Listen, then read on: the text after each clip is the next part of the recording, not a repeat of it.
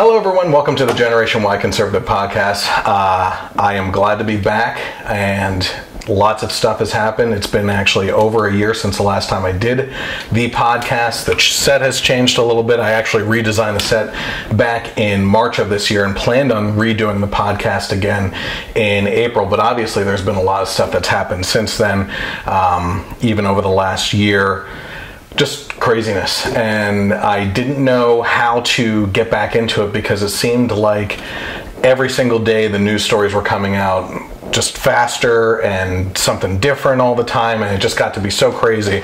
So there's a lot of things happening. I obviously want to jump back into this before the election. There's a lot of things going on there. There's a lot of things happening with Black Lives Matter. There's a lot of things happening with the virus. And I think that is the starting point that I need to start with tonight on just the absolute craziness that has started off with 2020 and what's been happening. Um, so, we're going to get into the virus tonight. I have my wife joining me, Leslie, and we're going to be discussing this. I'm going to try to go through this. I have I, when I was doing this, putting this all together, I felt like Charlie from Always Sunny in Philadelphia with the crazy conspiracy theory chart behind me and everything, and just trying to tie things together. I wrote down all the topics I wanted to talk about. I organized them into different groups and everything, found all the articles, found all the videos, and it's just, it's packed because we have a lot of stuff to go over, things, how it all feeds into it. It's not all just about the virus. Obviously, we're seeing massive shutdowns all over the country with the businesses and everything that's going on with that. And people are saying one thing and then another, and then the news says, do this, but don't do this. And then they flip it and they start doing different things. It's all madness, it's all craziness. And when you voice your opinion in opposition to everything that's going on to try and support either yourself as an entrepreneur as a small business or your friends that may be in that position uh, people that are out of work people that are going through depression everything it, somehow we're the ones that look like the enemies on social media and people are making you out to be the enemy. And on top of that you have this mentality that we're going to get into here on bullying people and shaming people into obeying and complying with the rules that are set out for you. So it's it's a lot of stuff. I'm going to try to speed talk my way through this, get a, a little bit of reaction from her, uh, banter back and forth and everything. But there is a lot of content to go over. We're going to be talking about as much as possible. Try to cram it in. The format has changed. The podcast, as of right now, is going to be instead of every week three hours at a time on uh, on Sundays. It's going to be every other week, and try to stick to an hour. I don't know if that's going to happen tonight. I'm going to shoot for that, but there's some videos that I'm throwing in here too on things that are going on, and we're just going to get into it. So I'm Chris. Welcome to the Generation Y Conservative Podcast.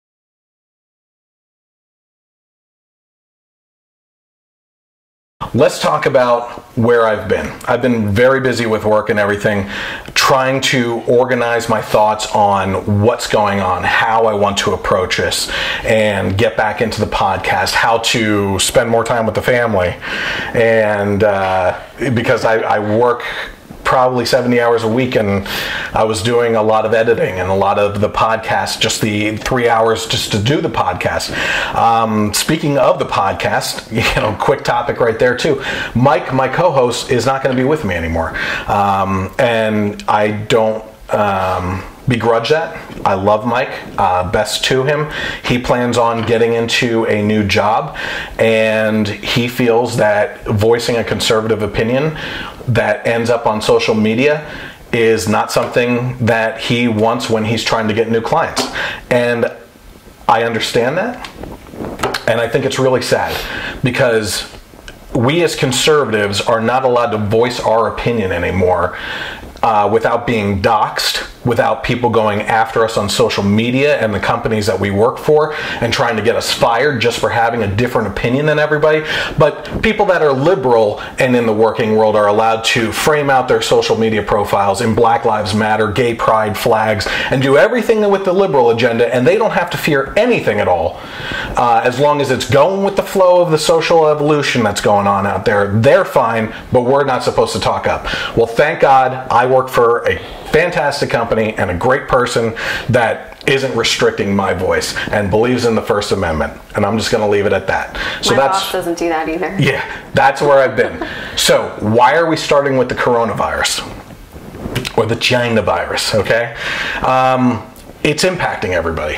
Uh, it, it is what is happening right now, and I think that going forward from this point forward, this is going to be just bubbling to the surface with everything that, that we're going with with po- politics and everything.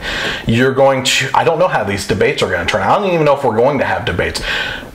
There's no reason why we shouldn't have some sort of debate, whether it's virtual or not, right? I mean, th- they have to hear Joe Biden off script, off the teleprompter, yeah. because the guy is going through severe dementia. I mean, they're going to try hard to not have. yeah, they will try. Yeah. 16 states. But will, how can you have a Democratic or election without hearing both sides. They'll try. Yeah. They'll try. Oh, yeah. there, there are going to be 16 states that can vote by mail in ballot before the first debate even happens. That's insane. So, impact personally. I believe in personal stories and everything that's going on. I just want to put all cards on the table We've been very outspoken against the virus, against the mandates that are going on, against the masks and and social interactions and everything, and especially the shutdown. She's gone to a couple protests in Harrisburg in Pennsylvania here, talking about or just joining the people, trying to get businesses to reopen again. And we're very lucky.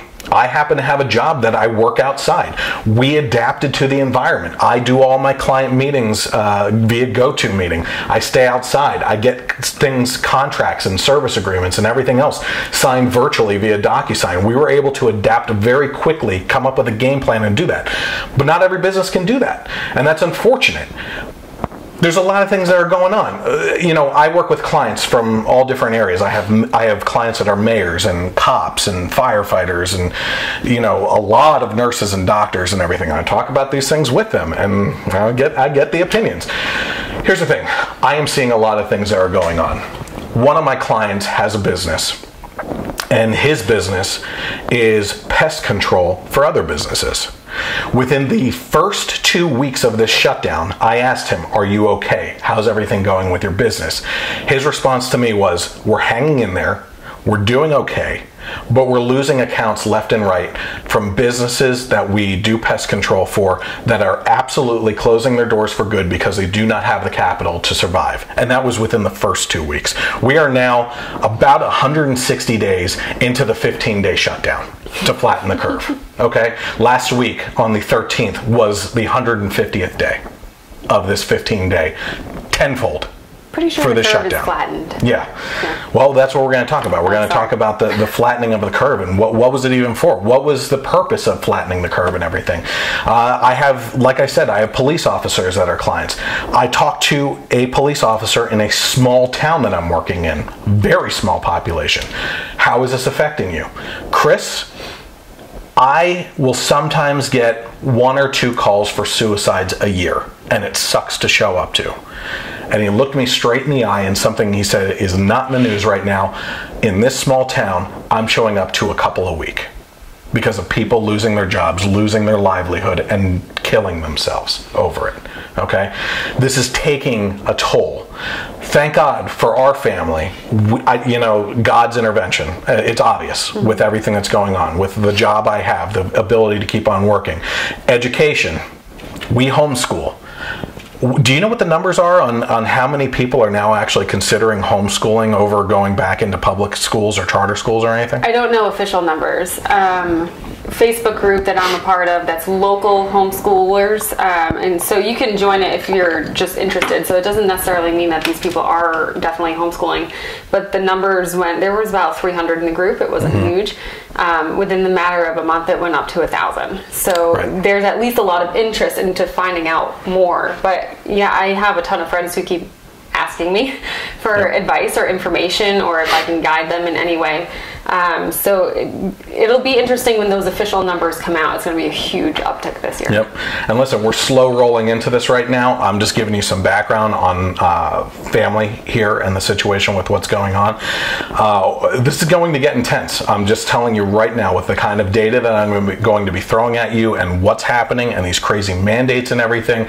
But one thing I want to lay out there we are not healthcare professionals, okay? We are not here to give healthcare advice.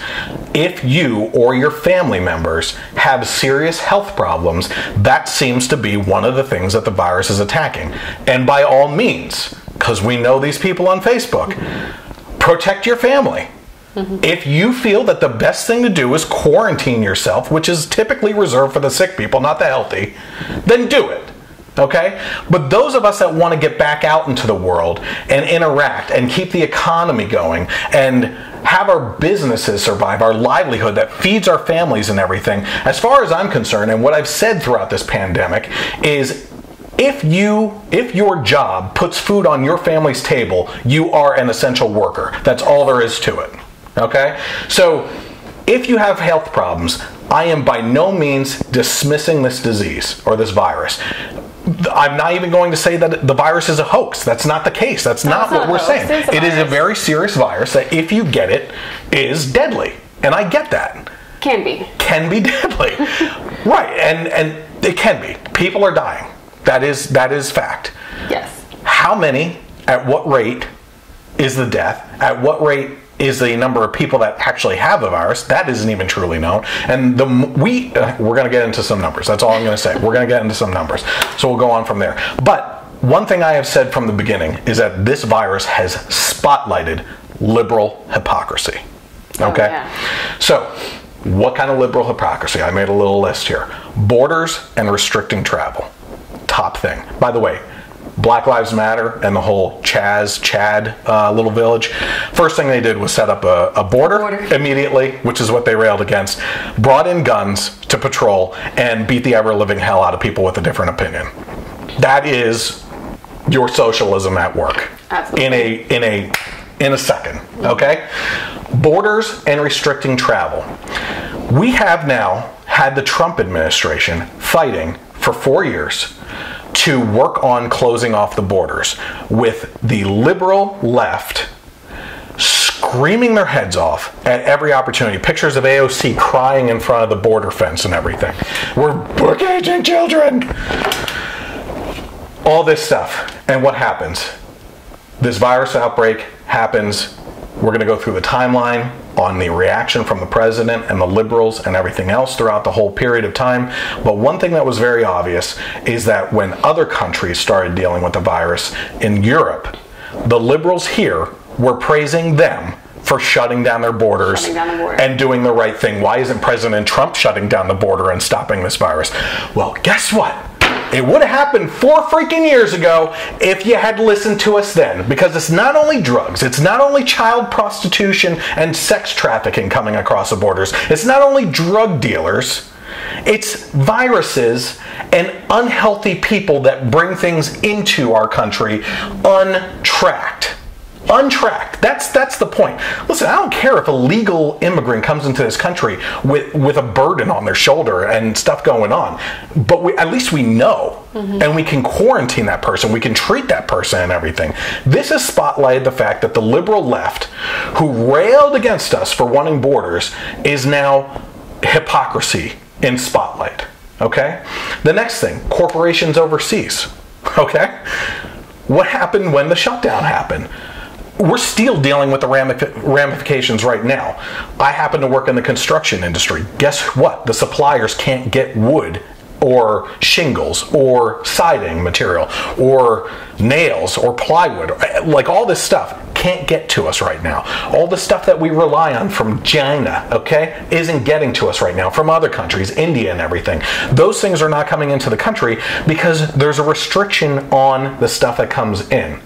But why are we relying on corporations overseas to get the things here that we always used to have here in America? Because we had one of the highest corporate tax rates for decades now due to liberal left policies that drove the companies and the jobs with them outside of our country, and we had to rely on importing those things back in. If we had those things here today, we would not be experiencing the shortages that we're dealing with right now, and we would have an abundance of jobs, even more so than the best job economy that Trump had in recent history, with any president, mm-hmm. right? Right. Manufacturing, that goes right into manufacturing. Things that we rely on from other countries could have been made here. Again, taxes, everything. Okay? We manufacture here, we don't have to rely on importing, we have the jobs, and with a lower corporate tax rate, you provide more jobs of people that pay taxes. You get more money. This this this whole mentality from the liberal left on taxes, they don't get it. It is such a surface level argument every single time. They can't dig deeper. Okay? Well, ultimately, corporations don't pay tax because they'll push They- that expense onto the consumer. consumer, through the product or service.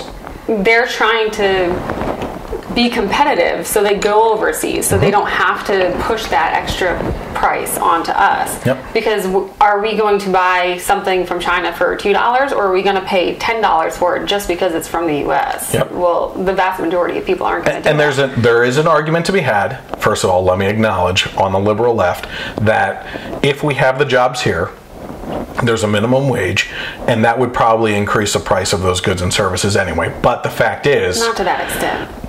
The it's it's the um, the way the market works, right? Free market. free yeah the free market but um, the supply and demand right Yeah. as the supply and demand moves and the economy adjusts to those numbers yes the price of the, of the product or service may go up but the but the overall the underlying economy raises all boats with it. Okay so yes we may be paying more but then at the same time with so many more jobs and the minimum wage and everything feeding into that those jobs are going to end up paying more and we have an overall healthier economy anyway. Okay. Education at home. Okay. Uh, the left hates the idea of anything but public schools. And at the very top level, that is talking about the liberal left being funded politically by the teachers' unions. Mm-hmm. Okay? Again, and I've talked about education many times before. I have nothing against individual teachers per se. There's a lot of bad teachers out there that are protected by the unions. And there's also a lot of fantastic teachers out there that are stifled in their pay that could be increased based on the merit of their work. Okay? The unions suck. Oh, I've dealt with them. I have dealt with the unions, okay? The unions were out to get me when I was on the school board. But now we have a lot of people that are looking at educational opportunities at home with homeschooling, going to charter schools, going to online schools. I predicted over a decade ago now that the next bubble to burst, I thought it would be at the university level. And I think that's coming because we yeah. haven't hit the university stuff yet, was going to be the educational bubble burst for that sector uh, because of overall uh, costs of tuition and everything for colleges. It was a different education bubble, but it is the next bubble to burst. This is this is what's happening. People are starting to wake up that they have other options. That Yeah. public school is not your only option. Exactly. While public or private feels like your only option, but it's not. There's so many other options out there. How about politicians at home? We were always told that the politicians had to meet in DC to go over all these things and that they had to be together in the swamp to get things done. Instead of being at home speaking with the constituents that they represent. But guess what? They're afraid to go into DC now. Most of them are working from home. This is probably the way it should be, okay? Well, that's also because true they're not on the state level. Yeah, they're not Our feeding off governor of has each other. not been in the Capitol this entire time. Yeah, screw our governor. We'll talk about him later too. Uh, hashtag FU Wolf. uh, protests and shutdowns. Okay, it's okay for you to mass gather in the streets for a Black Lives Matter protest, but you are not allowed to go out there and protest the shutdown. Right? Um, why? What the hell is the difference? There is no difference. It is outright hypocrisy. Logically, there's no difference. yeah. but when you're pushing an agenda, yeah. Well, this is more important. The, the virus in America is racism. That's really worse than COVID. Right. Yes. It's absolutely. worth putting your life at risk Yes. in order to fight the massive amounts Yeah. of racism we have where black people can't even It's walk not the outside their doors. yeah. It's it's not the hill they die on. It's the virus they die on. uh, funerals. Holy crap! If there's one thing that just gets under my skin, most of all, but uh, even even worse, I believe than the protests is how many people have lost people due to depression and suicide, the virus itself, any other sickness during this shutdown, and you have to have drive-through funerals or no funeral at all, and hold off and hope that you can have a, a funeral later, right? Uh, but in the meantime, John Lewis dies, and they have a massive, over a thousand person funeral, including Barack Obama, and people traveling from all over the freaking country to come for that funeral. You have millions of people in the end gathering together essentially for George Floyd's funeral yeah.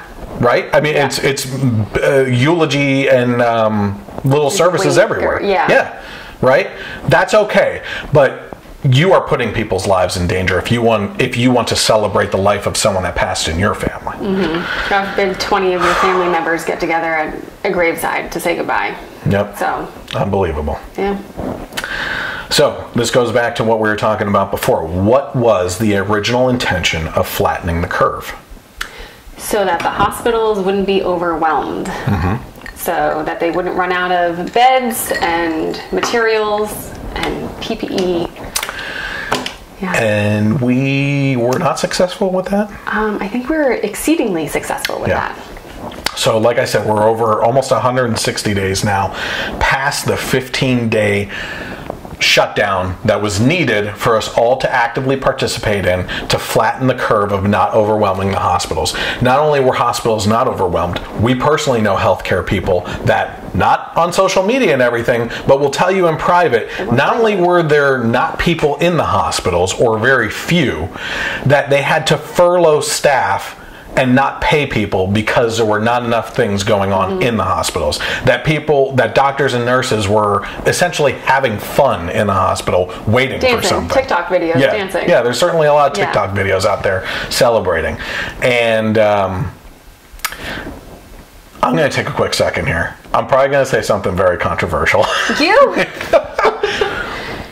I no, let me just say this right off the bat. I had cancer, and my nurses and doctors were phenomenal. Mostly the nurses, though. I had great doctors, but you barely see them. Yeah. You know what I mean? The nurses were phenomenal.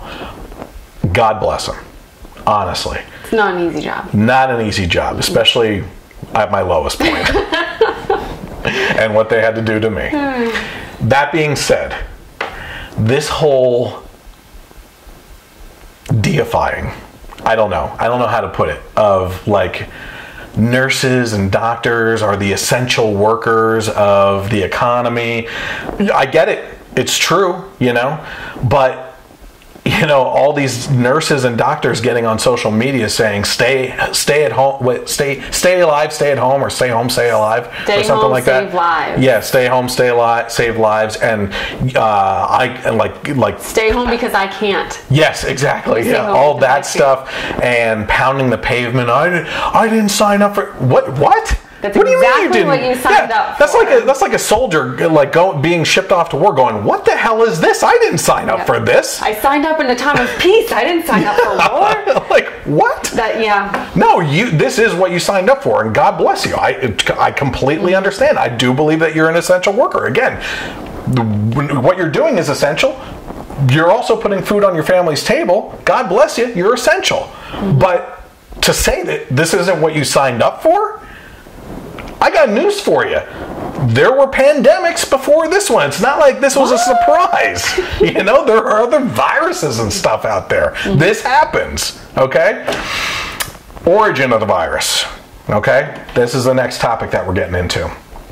What happened with it? The, f- the first things that we were hearing immediately was that this came from the wet markets over in China and Wuhan Not and what I was everything. hearing I love Chinese people too, but come on. first though. What were you hearing first? I was hearing it came from a lab. That was the first thing I heard, and then like a week or so later, it was the bat at the market. Yes. Okay. So those are the two floating theories. I personally believe what I heard first was that it came from a wet market. Okay. And then it was these crazy conspiracy theories of coming from a top secret lab or a, some sort of research lab or Secured something out there, a yeah. secured lab and everything. Well, was it released on purpose from there? Was it released by accident? I don't know, but Bret Weinstein, who is uh, you may under, you may know that name from what happened at Evergreen University over the last couple years, um, was kicked out by the students and the faculty because he disagreed with a liberal policy, even though he happens to be one of the most liberal people. He's an evolution biologist. Okay, right off the bat, not going to agree with us on things. Okay. that being said, this guy, I believe, is one to one of um, the underground intellectuals today. I may not agree with him on everything. The guy is super smart. And it's it's not about what he believes, but how he believes it, how he has civil discourse with other people and can support his opinions and also understand theirs and mold with that. Okay? Along with Jordan Peterson, Dave Rubin, Sam Harris, um, you know, I, I would even throw Steven Crowder into the mix there and everything. These are the intellectual underground. Joe Rogan, he's a meathead a little bit and everything, but he is able to bring those conversations in and ask the appropriate questions and intellectually be open to allowing these things. Well, Bret Weinstein happened to be on the Joe Rogan podcast uh, a little while ago, and they were actually talking about the virus. And I was blown away by an evolutionary biologist and what he said in regards to how he believes the virus came about. Okay, so let's take a look at what he said on the Joe Rogan podcast. When uh, it, se- it seems to be an issue when someone says that it might have come out of a lab. This is a right wing, left wing thing. For whatever reason, you get labeled a, a right wing conspiracy theorist if you Yeah. think it came out of a lab. Right. And you, you, people on the left are so they're so willing to dismiss that without any real evidence. For we've been poisoned by these these ideologies when it comes to conspiracy or whether or not something is actually true, but we've been fed the wrong information. That that stuff is. If you don't believe the official narrative that's being s- discussed on CNN, you must be some sort of a, a right wing nut. Right. And um, Have I- you faced that? Oh, of course I've faced it. I've, I've, and I'm, it's hard to escape it, right? So I've tried to be very careful. I have described it as a hypothesis, which is what it is. I have tried to show that there are different probabilities for the different origin hypotheses. Even China now admits that it wasn't from the seafood market. Do they? Oh, yeah. What do they say it's from? Well, Don't they say it's from us?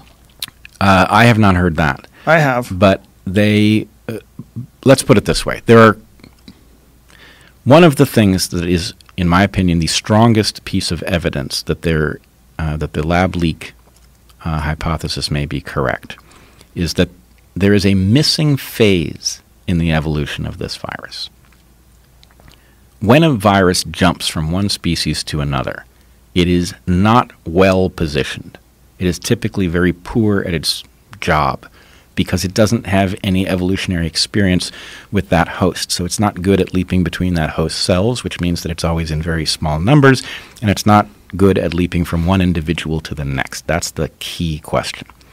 When something leaps into a new species and then it becomes a pandemic, it's because it has solved that second problem. It has figured out how to infect that creature in such a way that the creature spreads it to others of its kind. There is no evidence in the case of this virus that that happened. It showed up in Wuhan and spread immediately. It became a pandemic. It already had experience. Now, how it got that experience, we don't know.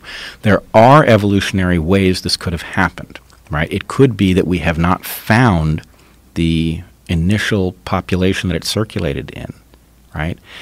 Or it could be that it circulated in a creature that we haven't found either. But the fact that there is no evidence, that it shows up in Wuhan and immediately spreads, um, tells us that this virus was well adapted to our cells and well adapted to transmit between individuals. And that is conspicuous. One way you could get there is if somebody A had added components to a virus in order to make it transmissible to humans. So the research in question would be research that was interested in discovering what a pandemic in humans of a bat borne coronavirus would be like so that we could do something about it. Maybe we could prevent it. Maybe we could create a vaccine ahead of time. But if you're creating a virus that has enhanced capacity to infect humans, in order to study what will happen if a virus ever escapes into the human population, then you are running the risk that the virus you are studying will escape. Would they have added something like a furin site? Absolutely. It is established in the literature that the addition of a furin site makes the virus much more transmissible in human tissue. So if you were going to study it, this would be high on your list of things to do. You could also passage it through human tissue in order um, to effectively train it on uh, the infectious pathway inside of people, which again, we might be suffering the downstream consequences of that if it escaped uh, the Wuhan Institute of Virology. That's very nerdy talk. I get it, you know. Uh, but what he's saying is, and what I would encourage you to do is go to the Joe Rogan podcast uh, and watch that interview, which typically the Joe Rogan podcast is about three hours and everything. And they talk about the virus a lot more than just that. So uh, I would encourage you to head to that podcast to watch more of that interview. But one of the things that he was saying right there is that typically in the evolution of a virus or how the virus starts to spread more rapidly is if it's going to go uh, outside of the the original species range, it's it's tough to do. It's hard to make that jump to the next species. So if it happens, it's not as potent to killing people. They get very sick, and it's fewer people that get sick, and it takes a while for that to, to for that virus to adapt enough to keep on going to mm-hmm. different species, right, and or get that explosive and out of control. Whereas this one was instant. Right. It had some sort of history with human tissue somewhere. So, so if it jumped no from a bat to a person, it wouldn't have spread person to person so quickly. So that exactly. supports the, the idea lab. that it came from a lab. Yep. Social responses to the virus is my next topic range. Um, pretty funny. So I was actually just going to bring this up. I, I meant to say it right in the beginning there, but this is actually just another area that I could throw this in. Um, I found it funny, and we won't mention names. It's it's not that important or anything. You catch a lot of heat online for the things that you post uh, in regards to masks and the virus and everything. Mm-hmm. And one of those responses happened to be from one of my friends uh, from the past and everything, who I still consider a friend, and it's a friendly family and everything. And you had voiced your opinion, and you took great offense when the remark was, "Well, of course you're outspoken because you're married to Ford." I happen to find that funny.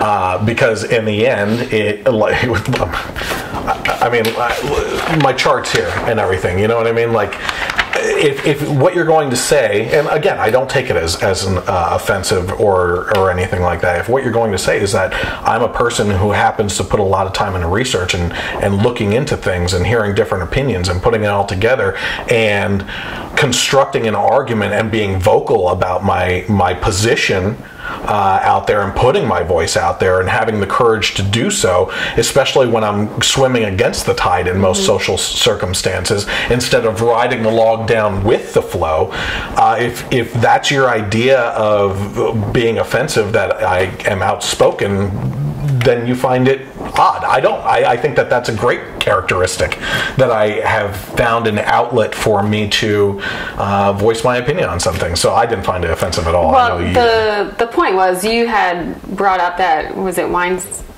whoever that man was, that he can have intelligent discussions with people who disagree right. with him and that's a lost art oh, and really can, yeah. i was just trying to understand where they were coming from and have an intelligent discussion. Mm-hmm. But it was like a, you can't. Of course, you run your mouth. You're married yeah. to Ford, and I was yeah. like, oh, okay. Well, she like, didn't say run your mouth like that, well, but but uh, but it's not the only person either. I mean, uh, we have both seen our friends' numbers drop, and that's okay. and it, that's okay with me because it's I I created a meme that I put up on uh, Instagram. It was taking Steven Crowder's sign and it said, "If you defriended me on face on social media, that says more about you than it says about me." Oh, you Changed my that. mind. I, I oh, created that. Yeah. So. Um, and I, and I said, listen, uh, my opinions are my own. I look for intelligent conversations. I you you were witness to someone that I've never actually talked to in person who went to my high school that I video chatted with ex- he's on the extreme left, right? And he was laughing at some of the comments. I said, hey, hold on, hold on. You know, text can be uh, misinterpreted. Why don't we video chat about this topic? Um, I forget what it was even about. To be, I think it was the virus. I think we were talking right in the beginning of the virus and everything, and he couldn't understand my position. We video chatted, and he said, Chris, you know, I really appreciate being able to talk to you civilly about this stuff. And I'm looking for that all the time. I'm looking to expand my horizons intellectually on finding out different things, finding out why people feel the way that they do, digging in and mm-hmm. picking it apart, having them pick me apart. I should be able to withstand a storm and hold up for my opinion if someone's tearing it down, trying to find the multiple layers of this crazy onion right here, that I should be able to support it down to my core no matter what questions come out. And if those questions come out and I don't know the answer to, I'm going to be honest and say I don't know the answer, but I will get back to you. I need to look into it a little bit more. But nobody wants to put that effort in. Or it, it's No, hard to find somebody who wants to put that effort in. They just want to assume that if you disagree with them, you must be evil and want terrible things for other people. Yeah. Well, no, I'm just coming at it from a different world. Yeah, you just want people to die. Yes. You're selfish and you want people to die. So social uh, social interactions are colder Absolutely. and more distant. When we go out and we see people wearing a mask, they could be the friendliest person on earth, but if I can't see or smile, emotions are shut off. It- you might as well be talking to each other online. You know, I can't see your smile. I can't see if you're angry. I don't know if you're winding up to hit me or winding up to give me a hug. You know what I mean? It's cold, it's distant, um, especially literally distant. You have to stay six feet apart, and people shuffle away from you in the grocery store. God forbid you go against one of the arrows that's taped down to the grocery store aisle people are moving out of cities. This is another Yeah. big one. Um, and I don't think that this has just to do with the virus. I think it has a lot to do with the Black Lives Matter movement, the riots, the looting. violence. Obviously, I'm not going to, I don't believe that I'm going to get into doing a Black Lives Matter podcast. I think what needs to be said is out there in different outlets and everything. I will tell you personally, I believe that those that say Black Lives Matter distinguishing that from the Black Lives Matter organization, which I do believe is a domestic terrorist group. I do believe that Black Lives Matter.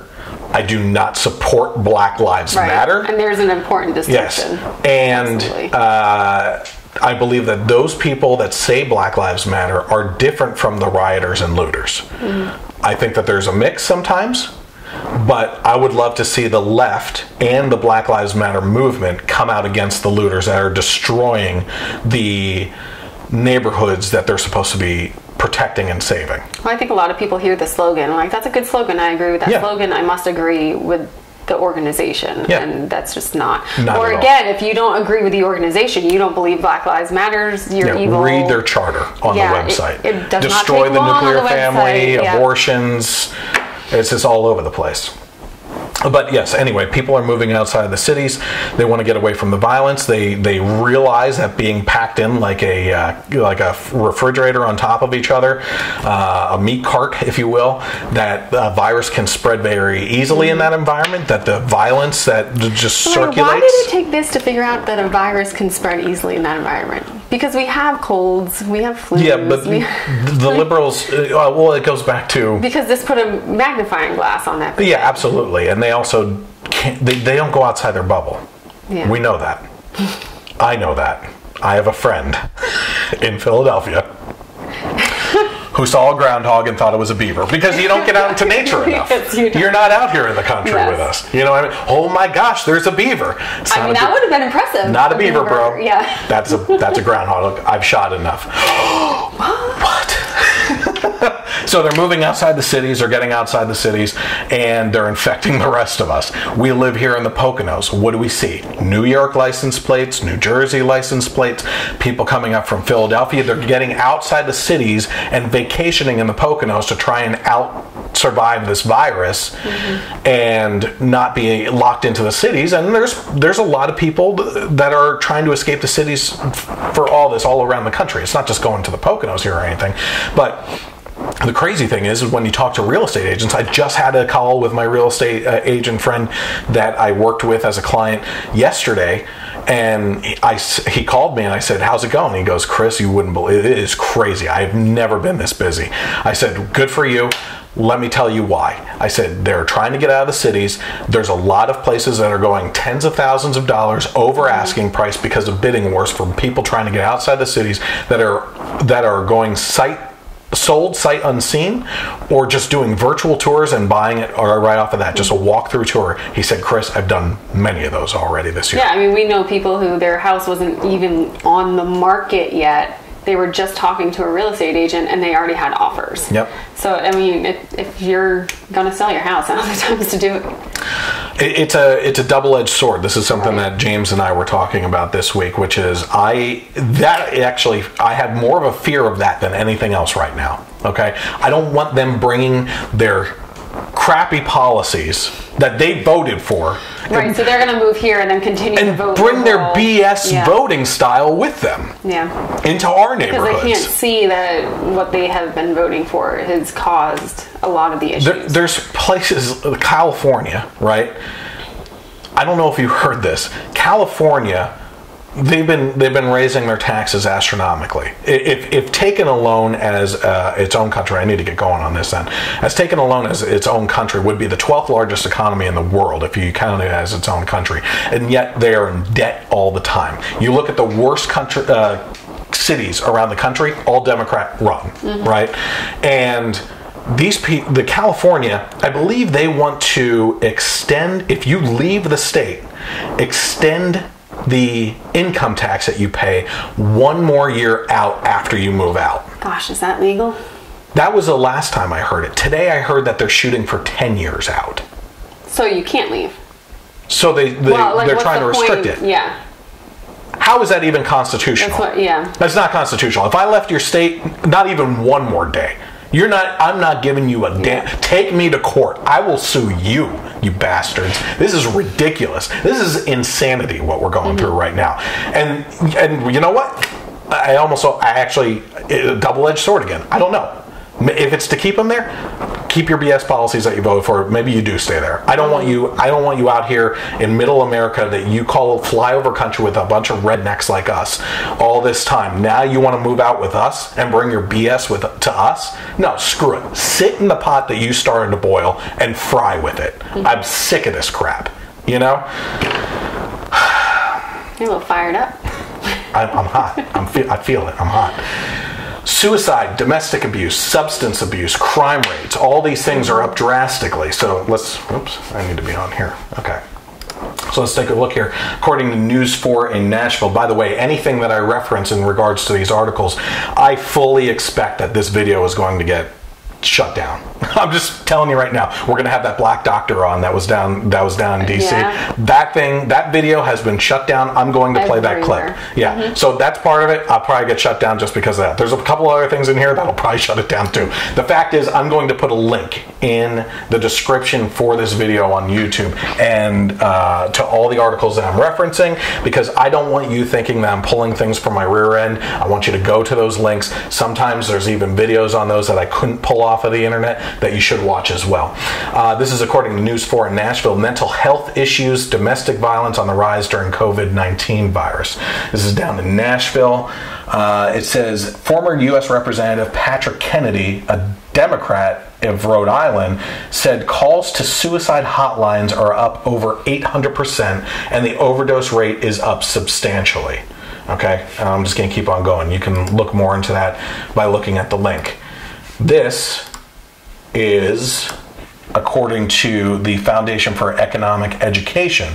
Domestic violence more than doubled under lockdowns, new study finds. Um, increased drug use. Analyze, uh, analyzing government mandated lockdowns in India, researchers Sarah, Saravana Ravindran and Manisha Shah found evidence of a 131% increase in the complaints of domestic violence in May 2020 in red zone districts or districts that experienced the strictest lockdown measures relative to districts that had less strict measures, which are referenced as green zones. So, what we have uh, it says also here a study analyzing data from police departments in four U.S. cities showed smaller increases in domestic violence, 10 to 27 percent more during the lockdown periods. This was written in July, at the end of July. Uh, any kind of increase is bad. But the fact of the matter is, you're locking. We talked about suicides. Suicides are up drastically. Even in a small pool, it may be. Um, anecdotal evidence as far as what I'm experiencing, but that, that these little pockets are representative of, of a bigger picture that's going on. The fact of the matter is that a lot of these families have been locked down into their homes, whereas sometimes educational schools were an escape for children to get out of the house and, and get out of a, maybe a bad situation at home. Uh, people working and going off to work, whether the wife stayed home or husband stayed home and the other one went off to work, whoever it was, or maybe they both went off to work, it wasn't packing in a bad domestic situation between the spouses and everything. But now you have everyone locked into a place. You have fear driven anxiety and just perpetuating domestic abuse, substance abuse. People uh, like li- remember what was what was sold out the most at the beginning of this pandemic? Two Toilet things: paper, toilet paper, water. water, alcohol. The liquor stores were Well, selling out of everything. the liquor stores down. Yeah, but once they opened up again, off the shelf, yeah. Mm-hmm. lines out the building. We saw the lines out the building around here. Ammo, Yeah, guns, you know, great combination there. I'm a, a Second Well, Amendment you person, have but people extremely stressed out, but I mean, there have been phases in our life where we've been home a lot together, and I mean, it, with anybody, it's hard to spend that much time non-stop, and then you also add in such a stressful, you know, environment. And then people are losing their jobs. You mm-hmm. know, they're stressed out because they can't provide for their families. They're stressed out because they're told if they leave their house, they're going to die or bring it back and kill their families doing it. And they're so stressed out. So you know, couples who already are not getting along and then you throw them in together with all that stress, I mean, it's just going to cause a whole lot more problems. So it's not a surprise at all that domestic violence has gone way up. Um, and you had mentioned the suicides too. Again, it's kind of anecdotal, but um, a small church that we've been visiting, maybe a couple hundred parishioners, he said just one or two Sundays ago that they have had not had a single case of COVID in their church, but he has barely without masks. without they don't masks. require yeah, masks they don't there. require masks. So they have not seen a single case of COVID, but he has buried two people because of suicide, and I think that's very telling. And I think Mm-hmm. the fact that a lot of people are ignoring that or acting like it's not that big of a deal, like, it's it's sad. And you know that when I'm working and I drive so much and everything, I happen to listen to crime podcasts as a, an escape of reality for more reality, I guess you could say, and everything. But the one thing I've been saying too is that I believe once this lockdown truly ends, because it's not really done, It's not fully done. uh, you're going to find that there's a lot of missing people because everybody's expected to be at home and people just kind of fall off the grid. No one's allowed to visit each other, so people kind of fall out of touch with each other. And I truly believe there's going to be a lot of people missing out there that Like because of that domestic abuse situations that and you everything. saw every single day at work, If and you- then if they weren't there, you'd know it. Yeah, you haven't noticed, and then you go back to work. Oh well, she didn't come back. Okay, Has like anyone checked up on her? No, we haven't heard from her. We just assumed she left the Yeah. company. You know, you look at our our family situation and everything. Now we don't adhere to it because we give our my parents and your parents the choice for having us and our kids around and everything. But we have other family members on those sides that are like, you're you're putting your uh, our parents at risk and everything. And it's like, you know, they're grown it's adults. a free They freaking country. Yeah, um, they're not my kids. I'm not going to order them around. Communism only works in the nuclear family, you know? So, What uh, are you trying to say there? That I'm a da- I'm a commie leader in here. Um, I'm the ruler, the supreme. I'm the supreme ruler. Um, okay, so speaking of the social interactions and everything, uh, going back to the education, especially with what you're dealing with and everything, there was a Pennsylvania teacher in Philadelphia that was lamenting that parents could hear the school topics while at home. If there is not a better reason to homeschool than listening to this BS, says a Philadelphia public teacher is curious about how educators will cope with conservative parents, those bastards, listening in on virtual classes, according to a thread captured on Twitter. Um, said so this fall virtual classes discuss, virtual virtual class discussions will have many potential spectators parents siblings etc in the same room. We'll never be quite sure who is overhearing the discourse. What does this do for our equity inclusion work? Kay tweeted. Uh, how much have students depended on the somewhat secure barriers of our physical classrooms to encourage vulnerability? How many of us have installed some version of what happens here stays here to help this. Oh my gosh. There Says- should be nothing that you should be saying to my kid that I cannot hear to. Absolutely. And if you don't want me to hear it, you should not be saying it to my child. Yep. Says while Kay acknowledged that damage can come from the left too, he noted that conservative parents are his chief concern when teachers are engaging in the messy work of destabilizing a kid's racism or homophobia or transphobia. While conversations about race in my wheelhouse and remain and remain a concern in this no walls environment, I am most intrigued by the damage that helicopter snowplow parents can do in the host conversations about gender and sexuality. And while conservative parents are my chief concern, I know that the damage can come from the left too. If we are engaged in the messy work of destabilizing a kid's racism or homophobia or transphobia, how much do we want their classmates' parents piling on? Again, it's exactly what you said. It, that stuff is not education anyway. you that is indoctrination. Absolutely. It is not oh well it's considered education because we're touching upon the equality and and inclusion of people and how you should treat no no no no you leave that to the parents It's the parent's job to teach um, values and and there's there's crappy parents out there that don't Oh, yeah. ta- teach morals to their kids and everything, and they rely on the school to do that stuff. But that, that that doesn't give you an excuse. It doesn't give you a pass to Mm-hmm. pass the buck onto a school district that you consider at that point, if you don't know this stuff is going on, you are counting on that being a babysitter, not a teacher, Mm-hmm. and you're counting on them doing the moral teaching of your children. We know, and the reason why we pulled our kids out of school is because the thread of morality that we put into our children is unraveled by those that are teaching All inside the school long. all day long. You know, and it's not every teacher. I'm not saying that. I'm making not making a But generalized it's statement. in the but the curriculum. It's in- itself yeah. does it. It's in the environment. Um, yeah, they work it into every every subject, every everything they can. They work it in, and it, it kind of reminds me of whose child is it? Who does that child belong to? Does it belong to the parents or does it belong to the teacher or, or the school? Um, ultimately, the children belong to the parents. We still have parental rights in this country. And yeah, that's just absurd. And there was just a case in Tennessee where parents had to sign a waiver saying that they wouldn't listen into classes. And I mean, if I get that waiver at home, I am absolutely listening into those classes. Yeah. But I think it. I'll be it- on screen. Yeah, sitting right next to I'm my child. just looking. Don't worry, I won't chime in unless you screw up. Um, But I think as long we talked about it's a wake up call for parents to realize that there are other options. It's also a wake up call for parents to realize what is being taught in these schools and who really is in charge of their child. And if you're handing your child over for seven, eight hours a day, who is teaching your child? Who is in charge and really instilling those values?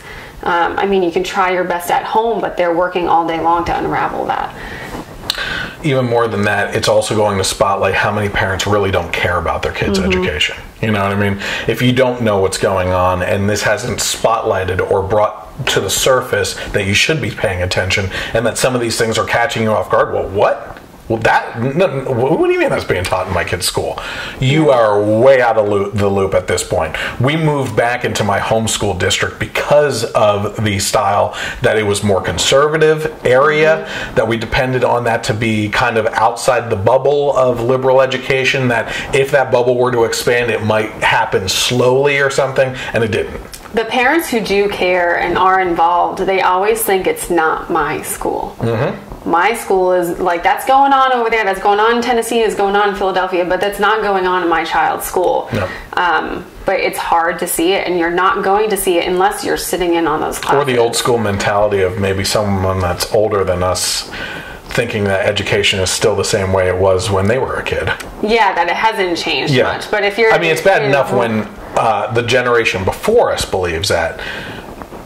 But you have people in our generation that still feel that eh, that are closer because we're only one generation removed at this point Yeah. that the education is still the same, and it is not. It's so at all. vastly different. Mm-hmm. It's completely different, and and it's. I think it would truly shock people to actually go and sit in on a school board meeting like it's their civic duty to at some point in time and listen to what's going on in their own communities Mm-hmm. Well, and it's what their tax it's, dollars it's also are the quality towards. of education just is not there. We're graduating kids who can barely read. Yeah. Um, Um, y- They couldn't pass a, a, a third grade civics test that they would have given back in the early 1900s Yeah. today.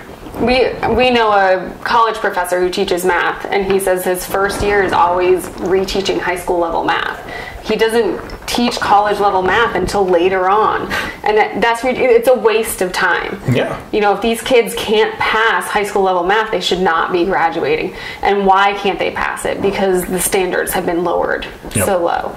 So we're, we're off the virus topic Sorry. there for a little bit, but that's okay. but it, it also feeds into what I what I alluded to earlier in the intro and everything of we're teaching kids morally, tying back right back into the conversation we were just having, to be bullies. The people Mm-hmm. that always railed against bullying are teaching kids to be bullies. Okay, here's an example. Our health secretary was encouraging people make it socially unacceptable to walk around without a mask. So that's essentially saying bully people until they feel like they can't do that. There is this tweet coming from Speranza, uh, Retroition, Retroition, yeah, at Retroition.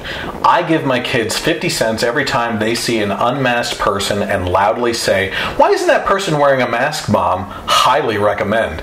One of the responses here was, My eight year old looked at a man in the airport when I had to fly her to her dad's for the summer. Oh, look at it, it's already a broken home situation, so off to a good start. And the sass came out in three ways. First, she would constantly ask why someone was, wasn't wearing a mask loudly. It's not like it's hard. Second, standing in line to get food, she noticed some guy behind us wasn't adhering to the six feet guidelines. She turned to him, six feet, please. I'm, I'm going to give the voice. I know what these mm-hmm. little sassy little bastards sound like.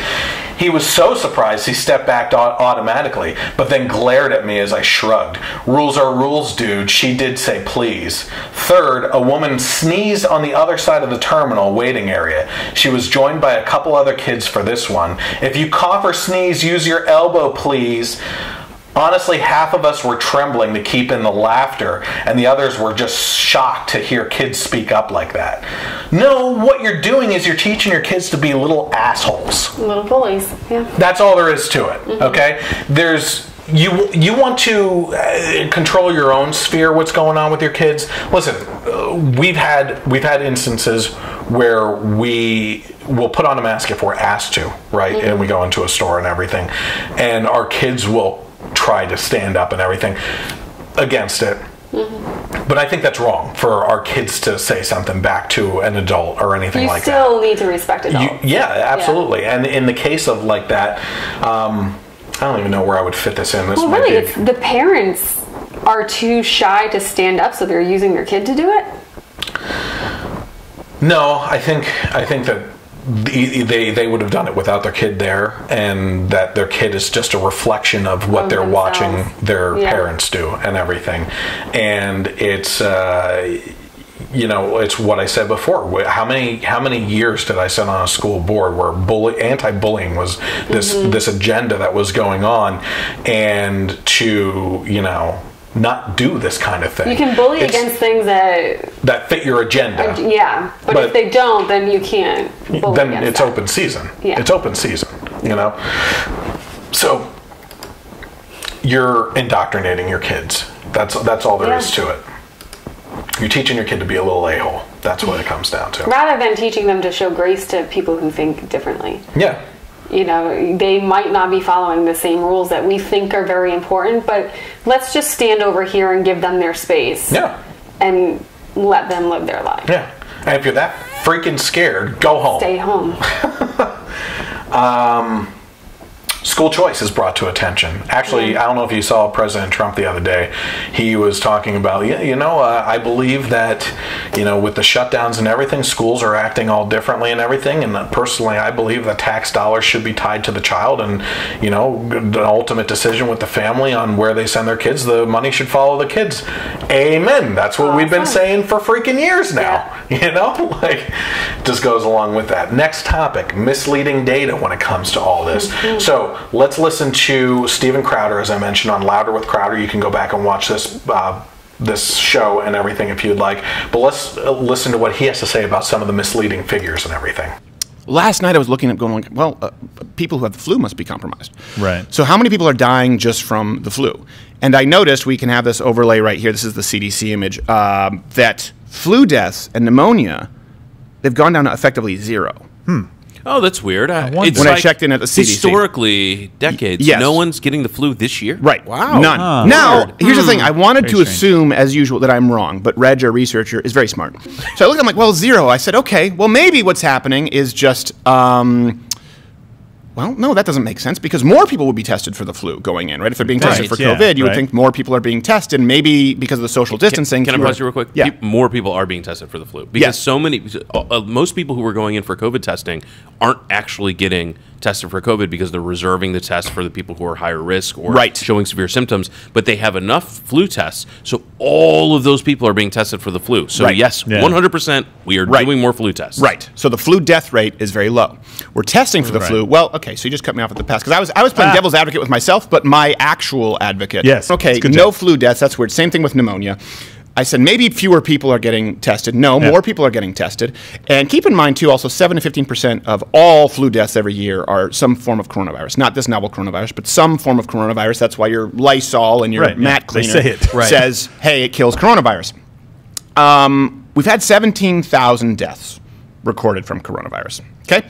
So, what this is telling us right now is that all of those flu deaths, all of those pneumonia deaths, right, those are, they're all being counted as coronavirus. So, that's Right. important to know. Everything's kinda being Everything together. is being counted as coronavirus, Yeah. even if they have these other conditions. And I thought, well, okay, that's not really fair because that's not the standard that we use in measuring deaths for anything else. For example, if someone has the flu and they also are going uh, undergoing uh, chemo treatment, Right. we Right, yeah. count cancer as the leading cause of death. So right away, that's tipping the numbers a little bit, but then it gets worse. Here's what I, I went to the CDC website after I saw that chart and going, the flu death thing is weird. This is how they're counting deaths. A lot of people are saying, well, they're just they're counting deaths. Uh, almost everything they want to be liberal, as Bricks, not Bricks, that's Hans Blix. Birx just said. this is from the CDC. Bring this up to you, cute man. Your people will think I'm lying. In cases where a definite diagnosis of COVID 19 cannot be made, but it is suspected or likely, uh, compelling within a reasonable degree of certainty, it is acceptable to report COVID 19 under death certificate as probable or presumed. In these instance, instances, certifiers should use their best clinical judgment in determining if a COVID 19 infection was likely. So That's very interesting. Not only are Can they I sum lumping that up? Can I sum well, hold on a second. Not yes, Just guess. what? Yes, Just just, guess. guess. Well, here's the thing. Not only are they lumping in, so all of a sudden, go look at the charts. Flu deaths, boom, nothing. Right. Pneumonia deaths, boom, nothing now. All COVID deaths. Not only are they all being registered as COVID 19 deaths, but doctors can also, there you go, that was a chart from earlier, the flu's uh, dropping down. But they can also make a guess that, well, we assume that person died from COVID 19. Right. This is important for two reasons. Science is flawless, the scientific method is flawless. Human beings applying it are, are not. Do you not think for a second that some leftist activist who also happens to work in a hospital in New York is not going to take every single opportunity possible to try and label this a COVID 19 death if they are not required to actually show any proof of a positive test? Just think of what the Yeah. media does with this Or even even somebody who's one not more thing, that. and then I want to go back. One more thing. This this is what's crazy about it because you go, how can these models be so wrong? Uh, and maybe someone out there can totally correct me on this. Everything I've said here is just taken directly from the CDC website. They don't apply this same standard to infection rates. So they cannot assume that someone has COVID 19 unless they test positive. And we now know, according to the CDC, 20 something percent of people are asymptomatic, 80% of people have very mild symptoms. So we cannot say, oh, that person didn't test. We didn't run a test, but we're pretty sure they have COVID because right now they're running all the flu tests, right? They are actually trying to eliminate possibilities. So they can guesstimate. I hate that word, but I'm using it because I want to piss people off. I get that it's redundant. Estimate is to make a guess. What's guesstimate? To make a shit We get it. So if we are saying COVID 19 deaths, you can guess, but you cannot guess. You have to have proof of infection rate. What do you think that does to the mortality rate, not the overall deaths? Far fewer, they're saying deaths are being underreported. No, no, no, no, no, no, no, no. Infections are being underreported. For all we know, we could have two, three, four, ten times the amount of people right Yeah. now out there with COVID 19. We cannot guess. We cannot estimate. No. But we can throw out numbers if we think within a reasonable, uh, uh, I guess, sort of barometer of suspicion that they could have had COVID 19. We list it as a COVID 19 death. So, what can that do? That can take a mortality rate from 0.2%. 0.4% to 3% or 5%. And it's important to note that's what the models were based on. That's what the 2.5 million came from. And then the 100,000 to 240,000. So you can talk about social distancing all you want, and that is true. You should be taking your precautions, wear your masks, which we said before they said you should wear masks. I said, I bet they're going to come out and say wear masks. Ha ha! Nostradamus here, apparently, a comic in a bathrobe, said, I bet you the took, CDC is you going know? to change tack. But this is incredible that Yeah. the models are based on Yeah. this. Yep. we'll just keep on going because uh, there's a lot of stuff here. Now, here's one of the other interesting things. Steve Deace, he is on the Blaze Network. He went over these uh, most recent statistics as of uh, August 13th of this year, 2020. 2.1% of ER visits in the USA are for COVID victims uh, via the CDC numbers. 1.9% of active cases are actually hospitalized. The U.S. has conducted 41 million more tests than the next highest country after us. Okay, what does that mean? This kind of feeds back into what Steven Crowder was just talking about there, which is the fact that since we have tested more, more tests are going to show up positive with the COVID number being asymptomatic or or uh, you know Mild mild symptoms, uh, you know past symptoms and everything else. The more we test, the higher that number is going to go, and the mortality rate will then shrink because the more tests that we get out there showing that that virus is actually out there, more widespread, not as serious, and the mortality rate is obviously going to change the same if you're counting the numbers correctly. His point is they're not exactly counting those numbers correctly either. Right. You know, Neither end are, are being counted correctly. Yeah. So your numbers are completely the skewed. numbers are completely skewed, skewed all over the place. The mortality of the disease is uh, in regards to the number of cases divided by the number of deaths. Since July 1st, case fatality rate has dropped from 4.8% to 1.5%. In Europe, just to keep on track on what's going on between what we're doing and what Europe is doing, we're at 1.5%. Which that number's probably again skewed. Europe is at 1.5 percent. People think that with Asia, with the uh, what's going on over there, and their mask wearing being habitual and everything, well, how'd the virus spread anyway from an Asian country in the first place? They're at actually 1.9 percent, so they're higher right now, statistically speaking, than us over here. Um, so there's also questions that are raised over the accuracy of the death tolls. This is according to Fox 6 in Milwaukee. It says questions raised over the accuracy of US, US coronavirus death tolls. There, there's a reason why some people believe the government officials are exaggerating the number of COVID 19 fatalities. One problem is the hodgepodge way states tally those numbers, uh, according to Fox News.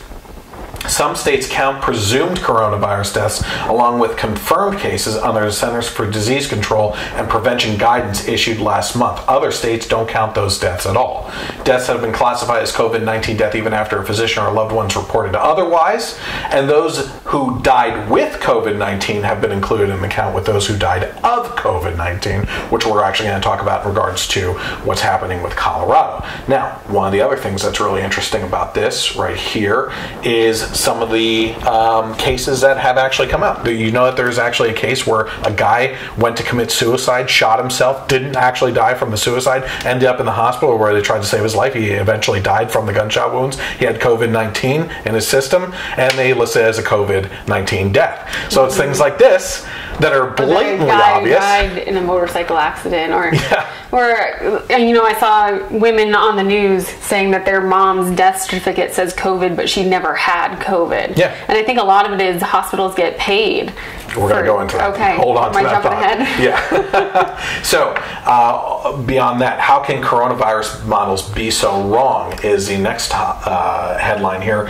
According to Changing America, Um, it's saying as the number of coronavirus cases and deaths increase, the predictive models are updating their projections. In many cases, estimates for the number of cases and resulting deaths are decreasing as more specific information becomes available. Some of the uh, officials are suggesting even more recent numbers are undercounting the number of cases of COVID 19 in the United States. That sounds bad. It sounds like it's arguing against me. But the fact of the matter is, if we go back to what Steven Crowder was saying, if the more cases are out there, but the mortality rate is staying the same, that, or as uh, staying a constant, number of deaths. the number of Yeah. deaths, percentage wise, that number is actually coming down. And it's not as serious of a virus Mm-hmm. Do you know as they what they're switched from the death count? Am I getting ahead of you. No, again? go ahead. They switched from the death count to the cases count. Yes. because the number of deaths have gone way down. Yep, yep. So now that's not as scary. Now we have to say how many people have the virus, and that's Mm-hmm. scarier. Yep.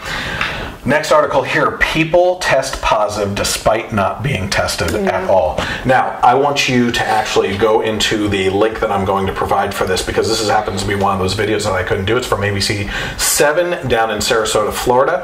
And what was happening down there is truly amazing. Coronavirus continues to spread quickly across the state, and now in the Suncoast, although testing has been made more available, many say that there are some problems in really getting a handle on how much the virus is in our community. This woman said, I got a call asking for me, and they told me that I had tested positive, and I was like, positive for what? Then the lady said, for COVID. And I said, that's impossible. I never got tested, ma'am. Uh, Clark had gone to the drive through testing site in Manatee Rural Health, but before she was able to get swabbed, she left the line because she realized it was for people with symptoms only. I told them they needed to take this off my record, and they said I had to prove to it to them that I wasn't positive, Clark had said.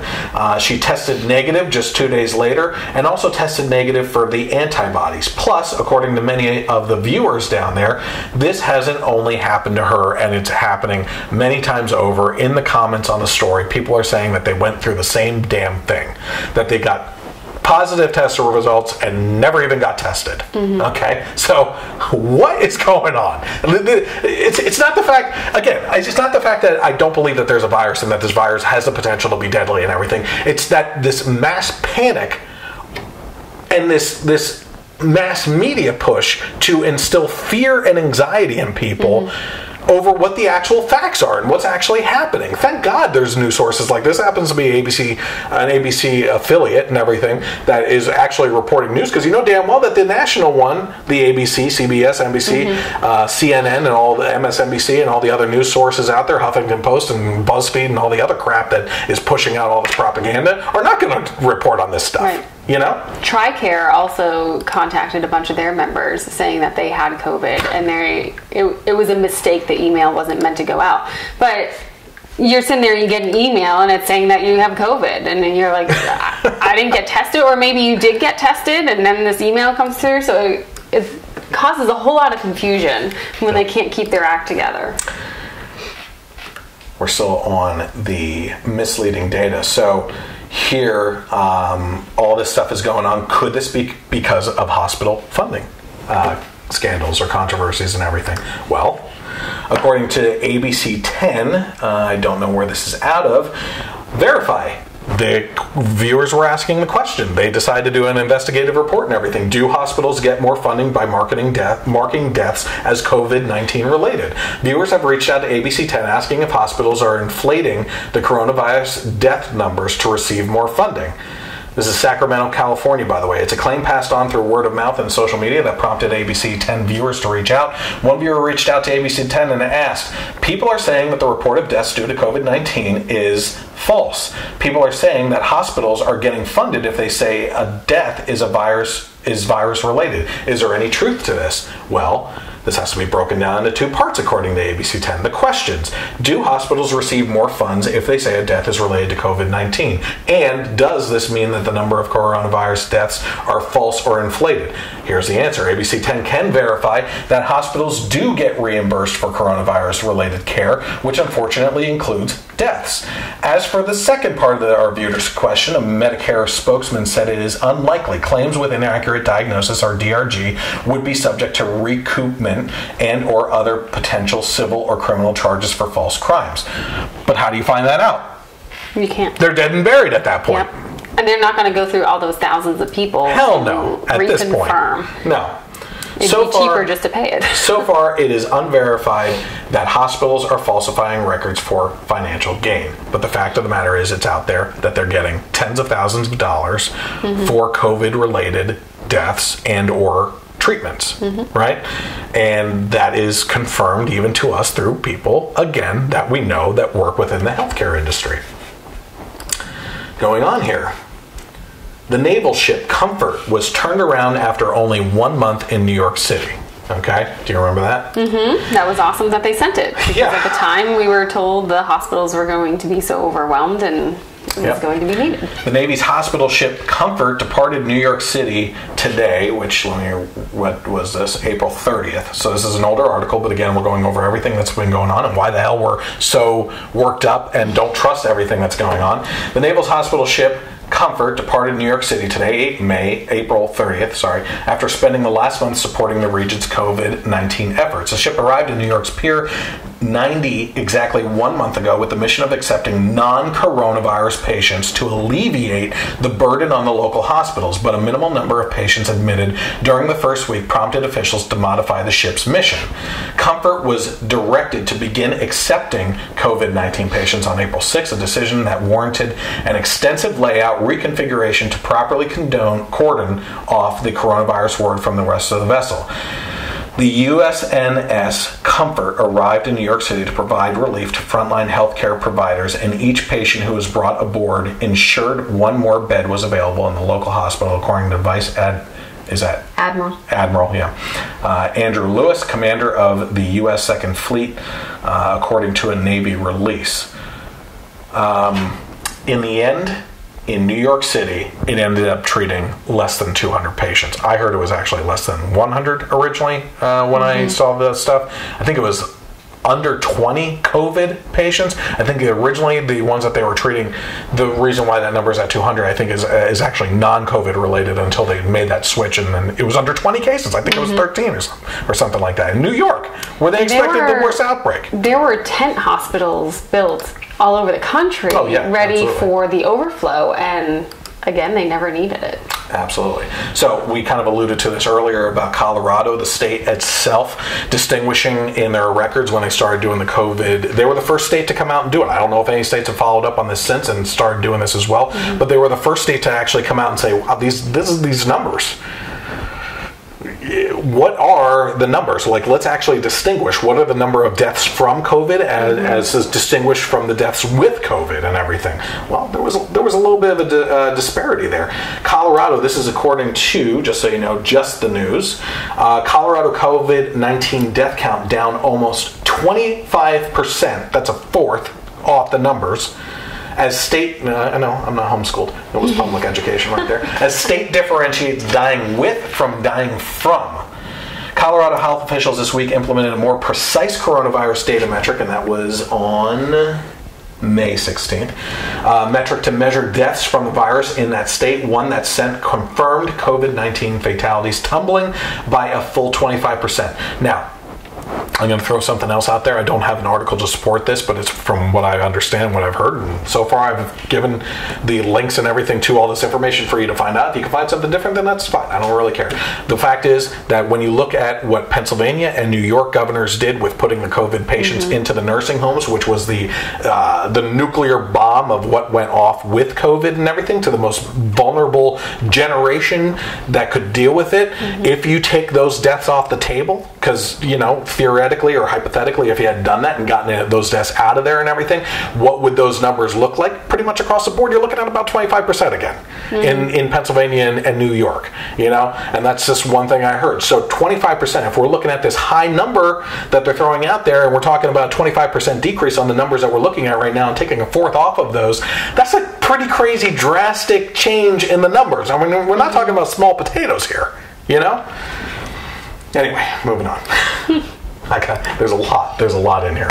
Okay, speaking of liars, okay, and, and, and the false statistics which and one we everything, gonna talk about we're going to talk about Dr. Fauci Ah. and the CDC lied initially to us about wearing the mask to protect essential workers. So instead of reading to you what he said, let's actually listen to what he said. Now, getting back to your first question, which was what about a month or so, or two or three ago, when people were saying, you don't really need to wear a mask. Well, the reason for that is that we were concerned, the public health community, and many people were saying this, were concerned that it was at a time when personal protective equipment, including the N95 masks and the surgical masks, were in very short supply.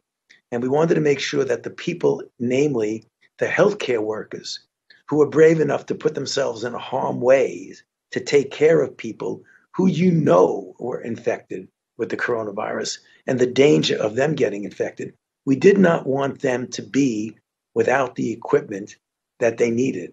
Here's what Dr. Fauci just said. We said that masks weren't a requirement at the beginning of this to dissuade the public from getting the masks that we needed for our essential workers because we knew that they would need them. So he's basically saying, We lied to you then, but you can trust us But now. we're not lying to you now. Yeah. So if you if you lied to us then, then you have set a precedent from the very foundation of this whole thing that I can't trust a single damn thing that you're saying to us now, because no matter what you come out with, masks are effective, masks aren't effective. The uh, it, the sun, the UV rays kill it. No, they don't. Yes, they do. You go home. You have to stay in your house, and it's not going to spread. Oh, now it's not good to stay in your house. Now you have to get out in the sunlight. All this kind of stuff. It keeps on changing. Six feet. No, thirty feet. No, you have to have a face shield on. Now you have to have this and Goggles. that. All over the place, and it's it's like your data keeps on changing. All right? And it's the same crap that you always deal with whenever you're arguing against science because science is always right because science is always changing. And if it changes, that's just new data. So you can't argue against us. We're never wrong, right? But in this case, Dr. Fauci just literally lied, is- admitted to a lie that he put out false information and didn't care about anyone else but the essential workers. But now we're supposed to trust the data that comes out from him in the CDC. So there's two things. One, we know a nurse who said that they had to throw out boxes of PPE, of N95 masks, because they were expired. So they use the same mask for, what did she say, a week? Mm-hmm. Which is disgusting because you're supposed to change it between each patient. So they're using the same mask for a week, yet they had to throw out expired masks. I would think an expired mask would be safer than a dirty mask. And at the same time, they're encouraging us to wear masks now because we care about other people, because we're unselfish.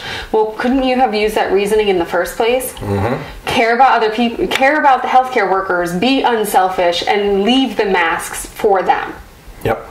I think a big chunk of people could use their unselfishness and not buy masks then, except now we have to wear them to show that we're unselfish. Yep.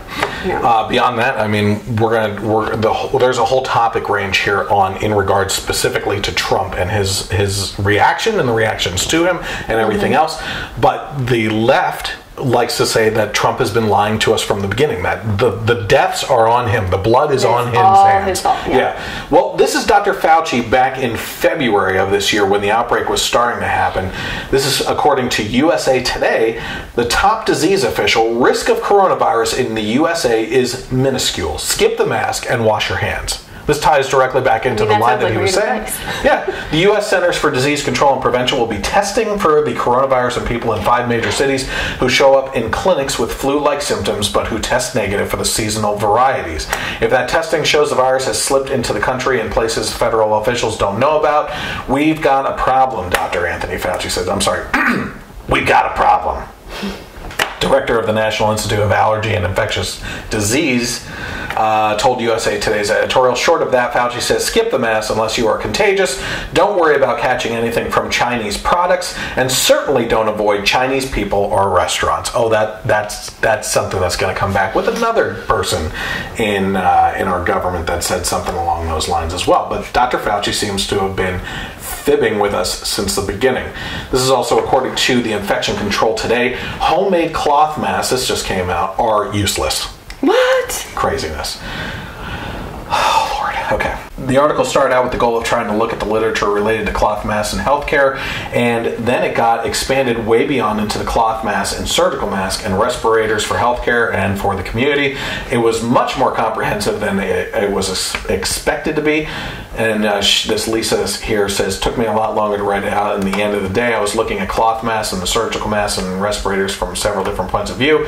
First of all, our healthcare and community, but also, do they work as source control or do they work as personal protective equipment or both? And at the end of the day, cloth masks, in my opinion, don't work in, quote, any form at all.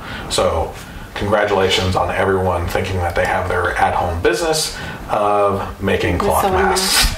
Well, no, but you know what? Listen, if you feel like you, yeah, hey, if They're you make, making that's money off of- capitalism. yeah. yeah, absolutely. I mean, if you want to sell to the idiots, that's fine with me.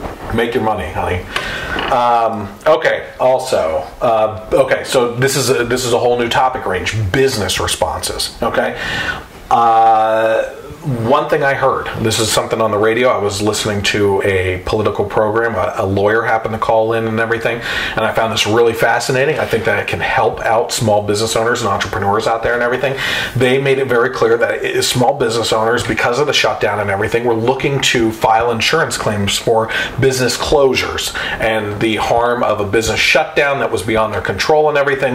And they were having a hard time because when you look into insurance policies, and I know this for a fact because of what I do for a living, that there's clauses, there's um, exclusions, and things of that nature. And when you look through, believe it or not, even on your home policy and everything, there's acts of terrorism that are listed in there and everything. It's it's insane, but they are covering all their bases because they do not want to pay out when they don't want to pay out. Fact is, in a lot of these insurance policies, there is a virus uh, clause in a lot of these business policies. So uh, the, the lawyer was pointing out the fact that if you're a business that was closed and you're trying to file an insurance claim for business um, interruption is what it's called business interruption uh, you cannot in most cases file an insurance claim based on the virus. But what you can do is look at the business interruption due to the government and the reason is it is not the virus. Well, the reason why it's most important is it is not the virus that shut you Right. down. It is the government that shut you down. And if there's anything you should do, it's it's going after the government for it, whether it's a local or state. Now, the federal that's a little different because obviously all the states have their different things going on and everything. But it's the same thing that comes back to what we have talked about in the past in regards to us being upset with things that are going on within our school district and everything. What are we going to do? So the school district they just raise the millage on us, and we end up paying for it in higher Right. taxes and everything. And that's exactly what happens at the local and state governments and everything. Is what do you you get pissed off at them? You sue them for the business closures and everything. We can't hold Wolf, this a hole, accountable Right. uh, for what's going on. We sue him. We sue his administration and everything. We just end up paying out of our noses in taxes here in Pennsylvania. We we end up screwing ourselves. There has to be some sort. If there's nothing else that has come from this, there has to be some sort of spotlight on the fact that we have come to an area or a, a time and place in in our history of the country and everything and everything that's going on that there that we have to seriously inspect under a microscope what's going on with how this kind of stuff impacts us that we can actually hold these officials literally accountable mm-hmm. themselves so that they don't make these sweeping decisions as dictators in each state. That we can sue them personally for what's going on. Because in the end we're only screwing ourselves. And what does that do? It encourages them to keep mm-hmm. on doing what they're doing right there's nothing we can do They're know they can't Yeah. they put the boot on us I think that's an important distinction too. Is what you said is it, the virus did not shut down anything. It was all government mandates. So, you know, when I hear commercials on the radio for the food bank asking, you know, because of COVID nineteen, there's a you know higher demand on what we need. We need more do- donations. Uh, it's not because of the virus. The virus didn't cause anybody to go hungry or lose their job. It was all the government shutdowns causing that. And I, it, again, it builds on the narrative to not speak the truth. You know, because of the government shutdowns, we need more food. yeah That makes entire sense, but you're just pushing the narrative when you're calling it the virus. Here's the other thing, and this is this is something that you and I differ on, and we've argued about and everything. But businesses could have argue. could have opened up under their own mandates to ensure the safety of their employees and the customers without government intervention, which would have saved many of the businesses from closing for good. Um, speaking, uh, you know, in regards to the business requirements and everything, if a business requires you to wear a mask and you don't want to, then you can go somewhere else with your money. You can't be a hypocrite and say that the businesses should be able to refuse businesses based on other factors, but not this. And at the same time time, those who fight for businesses now for mask wearing are basically making the libertarian argument overall to refuse business for other reasons as well. Mm-hmm. You know, we have this conversation about, you know, do you respect it and walk in based on the signs and whatnot, and sometimes we have differing opinions on that. I, you know, it's we. I think we both make great points. It's it's just like off by a little bit. Mm-hmm. You know what I mean? Your point is, if we accept this kind of mandate mandated action now, then we're just allowing them to continue to grasp more But a and more lot of businesses have those signs because they're required to, not They- because and they, they enforce feel it, like not it's because they law. care. Yeah. Well, not they feel like it's law, but at the same time, if they don't comply and mandate their their licenses are Yep, pulled, yep. and again, that's their livelihood. And it's not constitutional, so they put the signs up, but that doesn't mean that they enforce it. Except for when you get shamed into it. Well, yeah, it, it's you. It's and I was talking to friends about that today. It's, it's more that the other customers cause more of an issue than the Yep. actual workers. Yep. I mean, I Um, had one uh, employee at a uh, farming supply store go off on me a little bit, an older guy, but whatever. That's when I put my mesh mask on. Yeah. Uh, but this is amazing. Last month in July, uh, I heard from. Um, it was, a, it was a business bureau or something like that that as of the numbers and everything 45% of businesses that have closed down have actually closed down for good that was last month this month as of uh, i'm sorry that was july this is as of july 22nd now that number is up to 55% according to market watch 55% of businesses closed on yelp have shut down for good during the coronavirus pandemic okay? So the old argument from liberals, again, some hypocrisy here and everything, is that if you allow these big corporations like Walmart and Amazon and all this stuff to take over and shut down mom and pop businesses, well, guess what? You just you just took the carpet right out from underneath them mm-hmm. with a virus that they could have been like having policies put into place to protect their employees and the customers and continue the operation, but you completely took that away from them. Who benefits from that? The, big The Walmarts, the Walmarts Yeah. of the world. And the, the mom and pop stores are they can be safer because they don't see the Yeah. numbers. And they can you know, I can limit. go to Walmart and be in the same store with hundreds of people, or I can go to mom and pop and just run into one or two other people while I'm in there. Yep. Which one's safer? I mean, for instance, like, you know, Walmart is one of the ones that has been open through most of the Yeah. pandemic and everything, but somewhere like Kohl's, right? Mm-hmm. You can't go into Kohl's and buy clothing, But you can go to Walmart. but you can go to Walmart and buy clothing because they Mm-hmm. have food there as well. Yeah.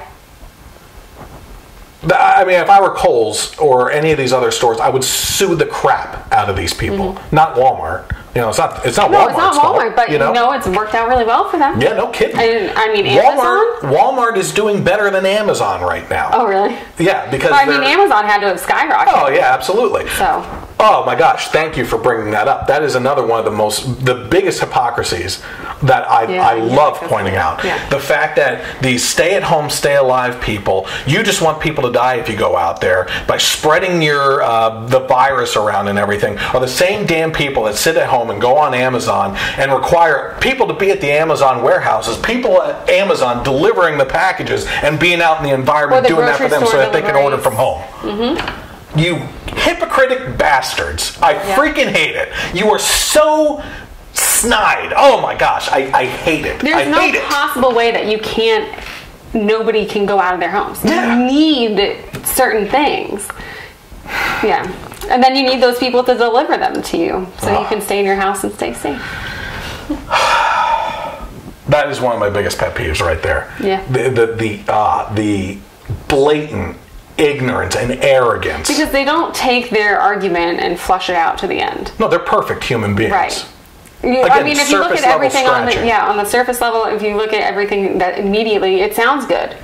You know, I'm not going to go out and infect people. I'm going to order everything in. Well, you're not thinking about Those people those that you rely on. It's kind of you know I used to work in television, so you see the news anchor and you're like, okay, well that's the news anchor. Well, you don't see the ten people you know in the control room and on the cameras and out in the field. Well, more than ten, but you don't see all those other Mm-hmm. people in the background. You just see the one. So it's not the one delivery guy going out. It's all the people behind the scenes supporting him too. Uh, that feeds right into another hypocrisy thing that you can find online. People in news that are out on beaches, out doing reports and everything, that are wearing masks on camera, and what's going on behind the camera? Their whole staff is not wearing masks, right? You look at what's going on in Congress. There are pictures as doors are closing of Nancy Pelosi and her whole damn crew in there, and AOC and all of them behind closed doors, right up against each other, not wearing masks. But in Congress on uh, C-SPAN, Yep. you know, they're all in, uh, wearing masks in, in Congress and everything.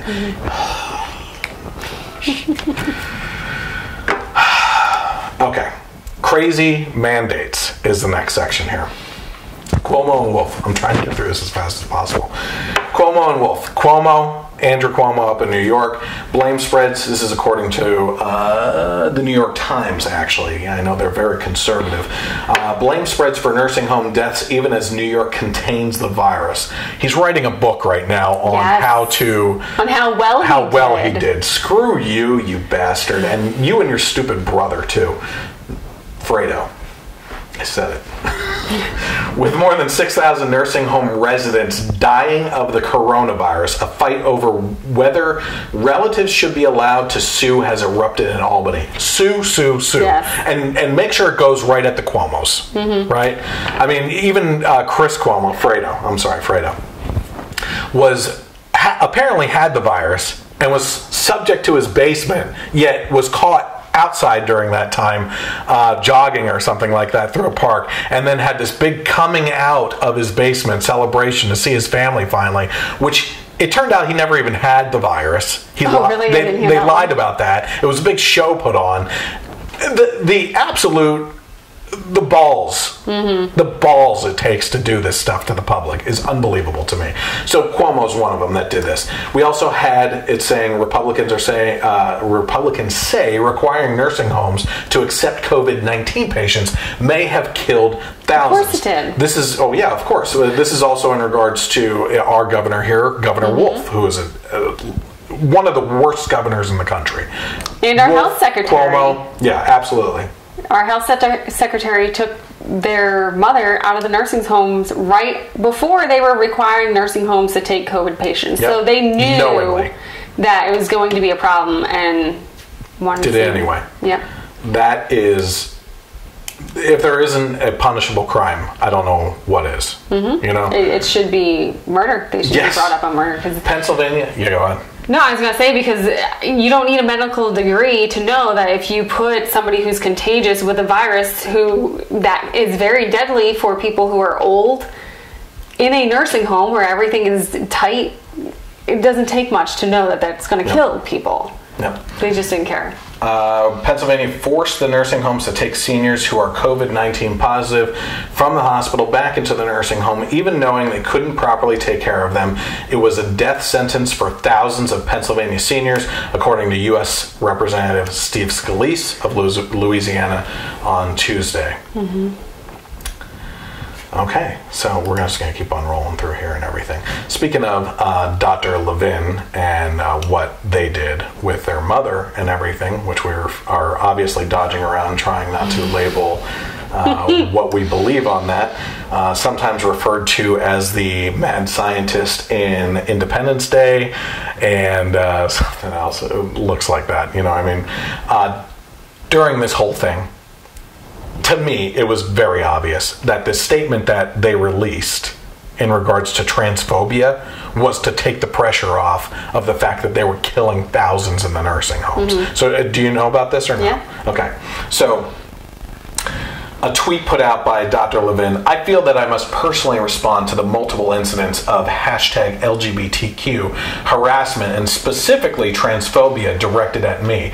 Your actions perpetuate a spirit of intolerance and discrimination against LGBTQ individuals and specifically transgender individuals. I have no room in my heart for hatred and frankly, I do not have time for intolerance. That is really sweet of you. First, I wish that the thousands of people that you killed in the nursing homes could hear that message too. and it also goes back to the bullying that we were talking about Yeah. before. So intolerance and harassment is not okay unless it's directed at somebody who's not wearing a mask. Yeah, exactly. Because they are the ones, and they they put out. Um, like little cartoons about, oh look, they're not wearing a mask. Oh, they're so selfish. Well, you're perpetuating and pushing the bullying and intolerance, but it's not okay if you do it against me. It's okay if you do it against mm-hmm. them. So we have New York, New Jersey, Pennsylvania, Michigan governor. Mm-hmm. This is according to Michigan Live. Michiganders is that a thing? I didn't know. can't go back and forth to vacation homes under Governor Whitmer's latest stay at home order. Now, this was back in April, obviously. I think this has been lifted since then. But the governor at that point in time was saying you have to stay in your home. You can't even go to another one of your, Your homes. You know, mm-hmm. whether it's two or three, I don't even care. God bless those people. Good, congratulations. You know what I mean? But what's the reasoning? What the hell's the reasoning behind it? You don't have a good reason. It's hypocrisy. I mean, if you're going to be quarantined into your home, you might as well go to your vacation home. Didn't her? Didn't they get caught going to their second home, and the husband said he had he had to do the leaves or something like That that? doesn't surprise me. But so they have And leaves, but even- nobody else does. Oh, it's not even fall. It's not your fault. you gotta be kidding me. But, I like no one called them out on that. Second homes, they need to be maintained as well. Yeah. And you're suddenly off of work. You have time to go provide that maintenance. No, my But no, you can't do it. Um, okay, so we're talking about crazy mandates here, Michigan governors. How about this one? Companies are starting to, some of them, not many of them, the, these crazy ones. Companies are demanding that you wear a mask while at home for the Zoom meetings. I thought that was. I only heard it was some like environmental association or something. The head of the Department for Natural Resources is telling employees to wear face masks on teleconference, even when they're not around others and at no risk of spreading the coronavirus. This is according to the Milwaukee uh, Journal Sentinel. Natural Resources Secretary Preston Cole reminded employees in a July 31st email that Governor Tony Evers' mask order was going into effect the next day. That means every DNR employee must wear a mask while in a DNR facility, noted Cole, an appointee of the Democratic governor. By the way, I don't know if you heard this one. There was actually an interview of uh, the virtual schooling from like the, and they were having virtual fire drills for the buildings that they're not in oh at home from the computer. Is that where you pick up the phone, call 911, and say that building over there is on fire? No, they're supposed to know how to get out of a school when they're sitting in their own When they're house. not. This one was one of my favorites, actually. Um, yeah. in Nevada, the casinos were allowed to open at 50% capacity. Percent. Okay, so 50% capacity they were allowed to open up. So you can only let a certain amount in. But the churches were only allowed to open up to 50 parishioners. Okay? Oh. Total. That's a big difference. Yes, yeah, not percentage, total. So, some Christians got creative and uh, held church at a casino. Amen.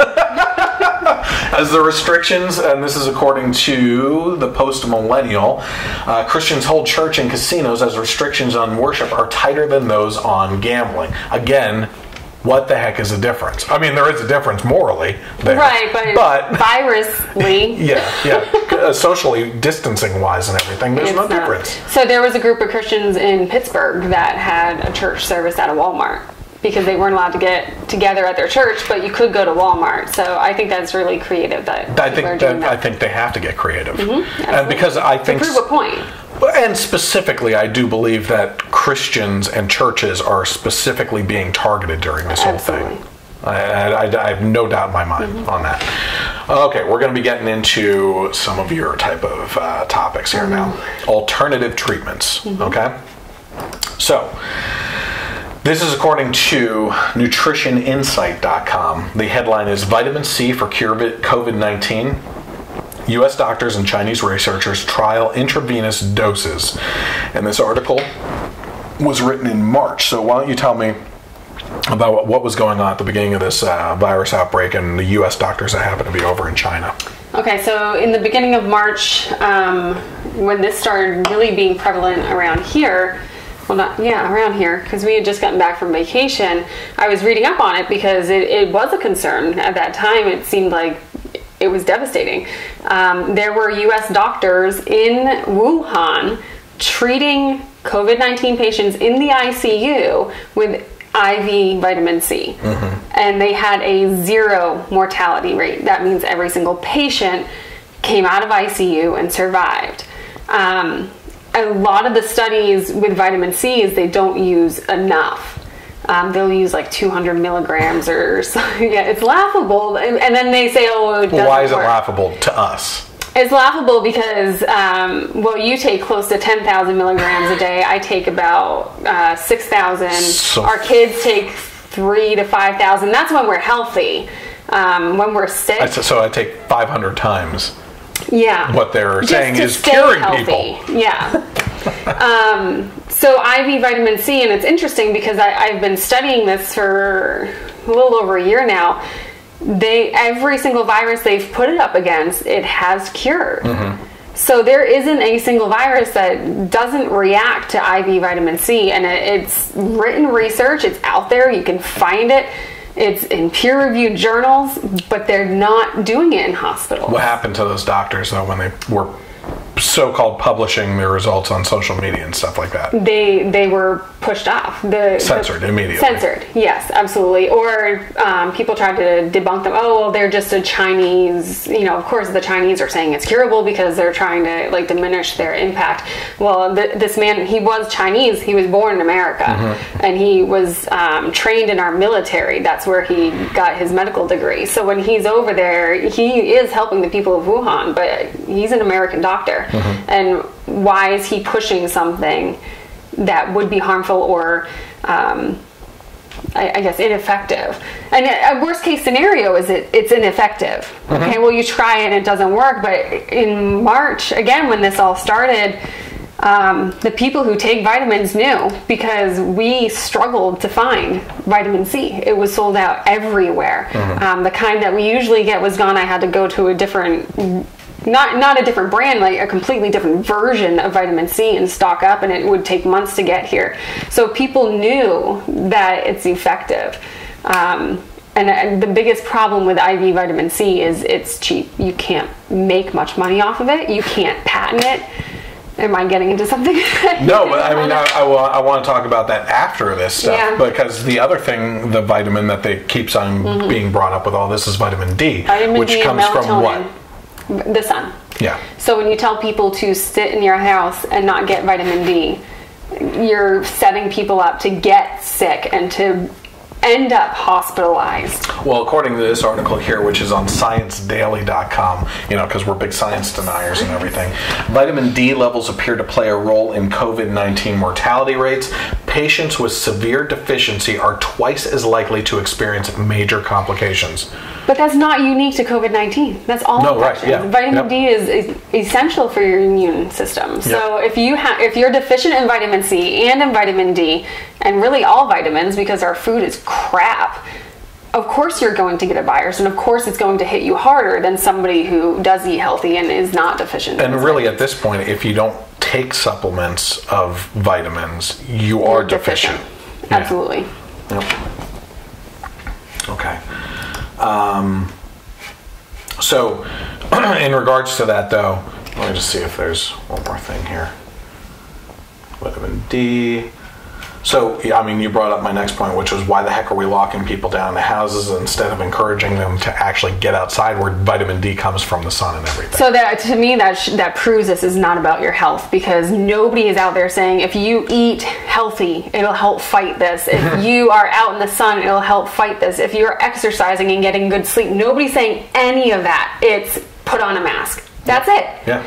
So what is And more if the mask doesn't work, it's really just a comfort emotional thing between people. And you know. My mask makes you feel better, so I should wear I'm doing it. this for you, and you're Yes. doing it for me. That that's the smartest piece of propaganda I've heard. Mm-hmm. Which is encourages the the, bullying. Absolutely.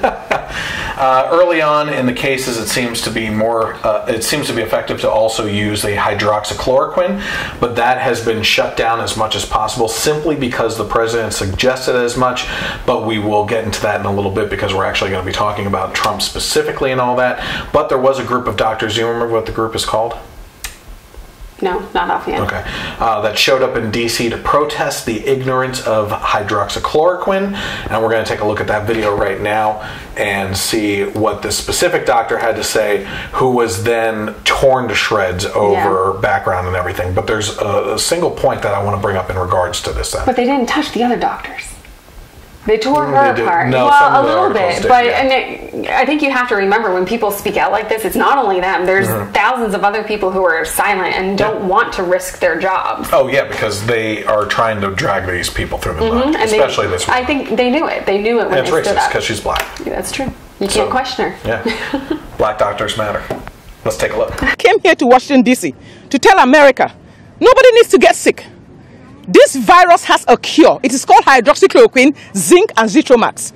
I know people want to talk about mask. Hello? You don't need mask. There is a cure. I know they don't want to open schools. No, you don't need to, people to be locked down. There is prevention and there is a cure. And let me tell you something. All you fake doctors out there that tell me, oh yeah, I want a double-blinded studies. I just tell you, quit sounding like a computer, double-blinded, double-blinded. Is your, I don't know whether your chips are malfunctioning, but I'm a real doctor. I have radiologists, we have plastic surgeons, we have neurosurgeons like Sanjay Gupta saying, oh yeah, it doesn't work and it causes heart disease. Let me ask you, Dr. Sanjay Gupta, hear me. Have you ever seen a COVID patient? Have you ever treated anybody with hydroxychloroquine and they died from heart disease? When you do, come and talk to me. Because I sit down in my clinic every day and I see these patients walk in every day, scared to, scared to death.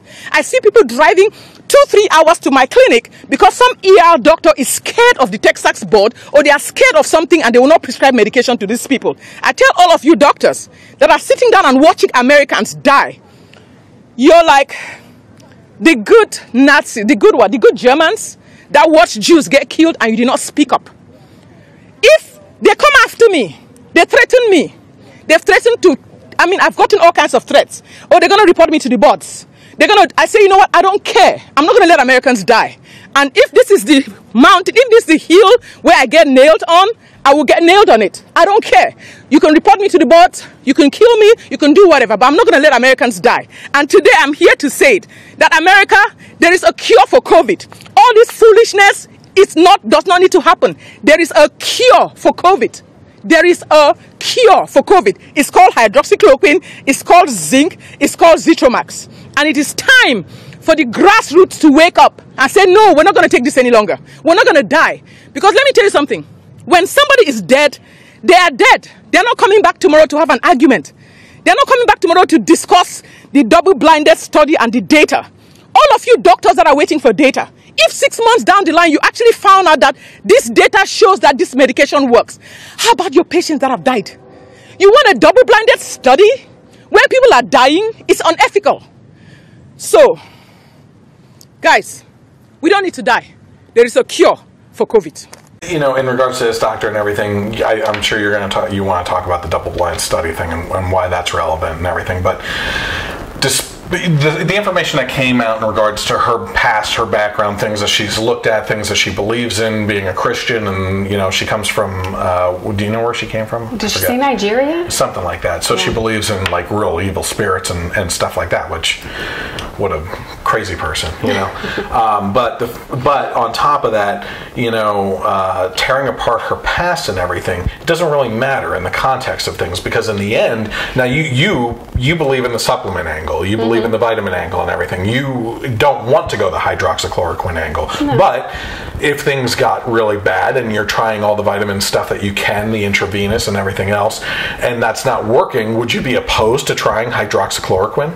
I mean, not opposed. I don't think it'll get to that point.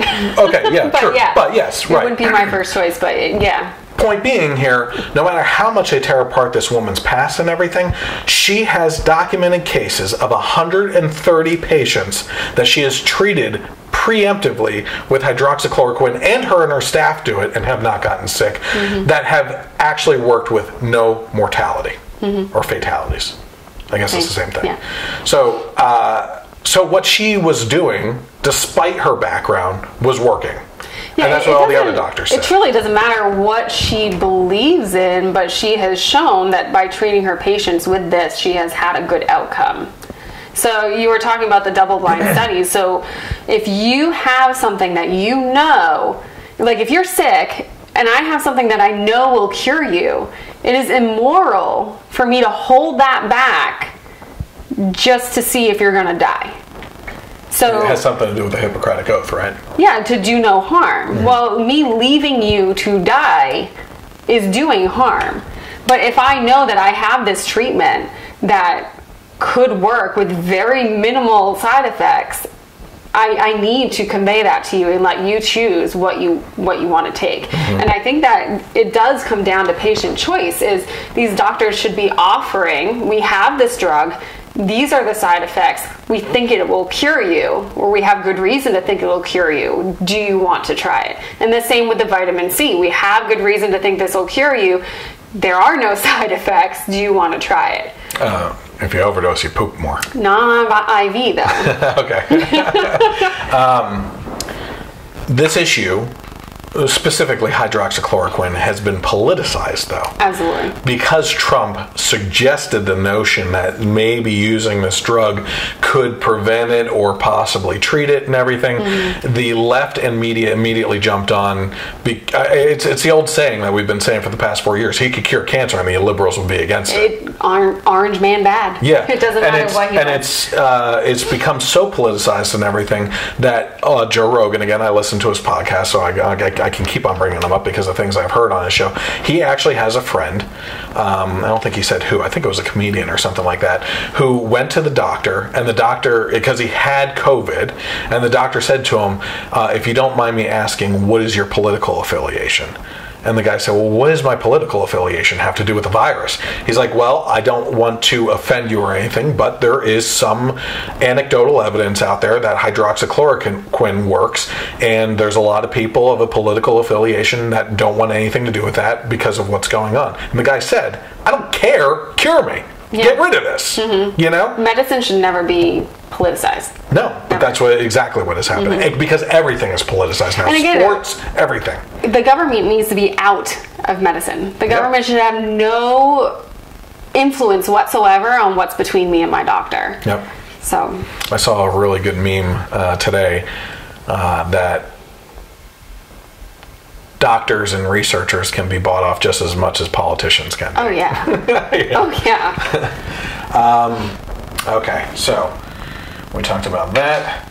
Uh, but, and this goes back to your point right here, which is what we kind of touched on a little bit. I said maybe the real reason why vitamins and drugs like hydroxychloroquine aren't being pushed is because new drugs and vaccines are better money makers for the pharmaceutical companies, whereas vitamins are inexpensive and more widely available. They've already put billions of dollars into this vaccine. It can't fail. They Yep. can't not come up with a vaccine. So they will come up with something Mm-hmm. to fill the gap because they'll make the money off of that and not the vitamins. And I, unfortunately, so most doctors don't even know that there are al- effective alternatives because they're most well doctors go to medical school and who publishes the medical textbooks? The pharmaceutical companies. So these doctors aren't even being trained that there's any other option. So you kind of you have to give most doctors grace because they're getting their information from a very biased source that they're told is not biased.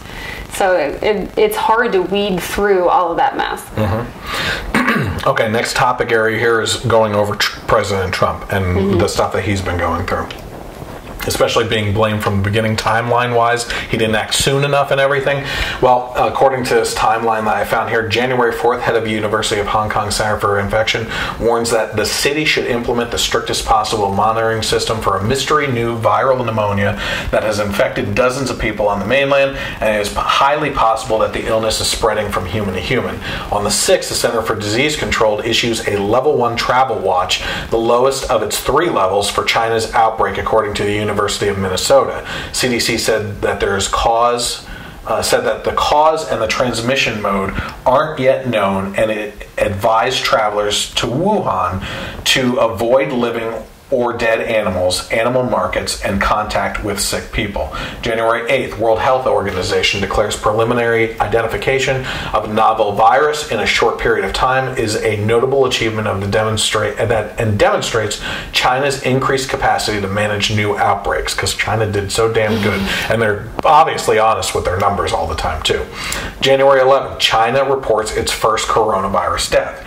January 14th, the WHO announces preliminary investigations conducted by the Chinese authorities have found no clear evidence of human to human transmission of the novel virus in, identified in Wuhan, China. This is the, the WHO. No human to human transmission. Okay. Meanwhile, according to the Associated Press, internal Chinese documents show that the government officials acknowledged likely human-to-human transmission of the coronavirus and said that they were following orders from the president of China to keep it under wraps. Wow. So we can't question the who either. Nope.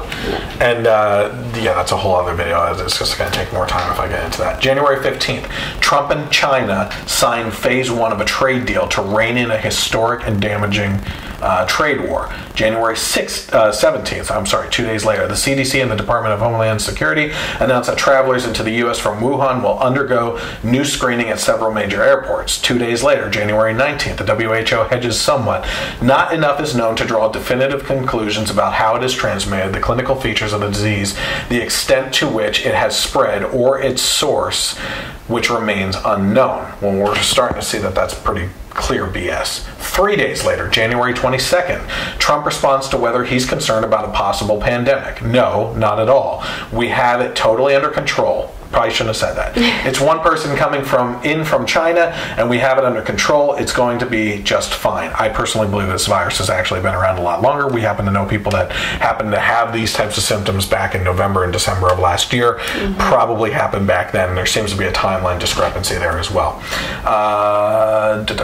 Trump was referring to a resident from uh, this one county in Washington who came back from China on January 15th and was diagnosed with the coronavirus. Uh, one day later, Vox publishes an article stating that travel bans to fight viruses don't work. Vox, okay? The article initially referred to the Wuhan virus before being edited weeks later. Oh, we're going to get to that. so good. The article's URL remains unchanged. China seals off Wuhan, canceling plane, train, and bus travel. Uh, also, at that time, Anthony Fauci, director of the NIA and infectious diseases, says in a Journal of the American Medical Association podcast that the U.S. wouldn't implement draconian shutdowns of cities like what was occurring in China. There's no chance in the world that we could do that to Chicago or to New York or San Francisco, but they're doing it. Let's see what happens. January 24th, Trump tweets in praise of China's transparency. Uh, on April 1st, uh, this is jumping forward a little bit here, the Biden campaign mocked the president for the tweet and claimed Biden publicly warned Trump not to trust China. Funny. Politico reports on that same day that the Trump administration held a briefing on the coronavirus for senators. The initial thought from the Dems, I think, is, is according to a GOP Senate aide, uh, is that we were trying to distract them from impeachment. That's what they thought was going on. The outlet added that a White House official recalled feeling surprised at the incredi- incredibly poor attendance, noting that it came even though the amount of concern expressed then was rather intense.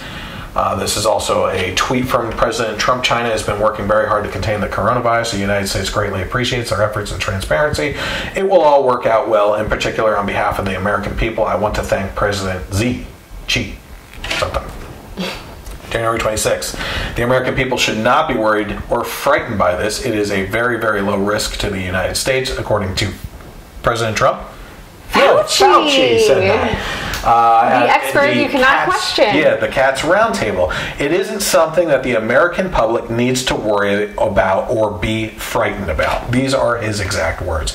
January 27th, one day later. Obviously, things are starting to heat up and go f- more drastically day by day. The Biden campaign, including its top coronavirus advisor, Ron Klain, praises China for being transparent and candid. That's funny. He got the Biden campaign uh, kind of chastised the uh, Trump campaign for doing the same thing just days earlier. Speaking to Axios, Klain asserts, I think that you'd have to say that China is, uh, it's been more transparent and more candid than it has been during past outbreaks. We're just going to keep on going here. January 28th, one day later after that. Three days before Trump closes off most travel from China, Klain uh, says he opposes that measure. January 30th, two days later, CNN published a piece by Brandon Tensley entitled Coronavirus Task Force Another Example of Trump Administration's Lack of Diversity. Because diversity during this whole damn thing That's is what's what important. matters.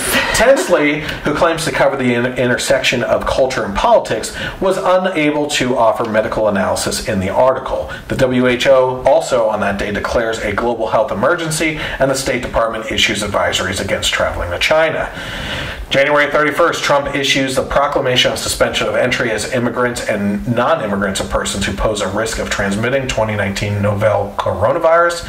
And later in the day, the Biden campaigns in Iowa and te- uh, campaigned in Iowa and tells the crowd that Americans need to have a president who they can trust what he says about it that he is going to act rationally about it. This is no time for Donald Trump's record of hysteria and xenophobia, hysterical xenophobia, and fear mongering to lead the way instead of science.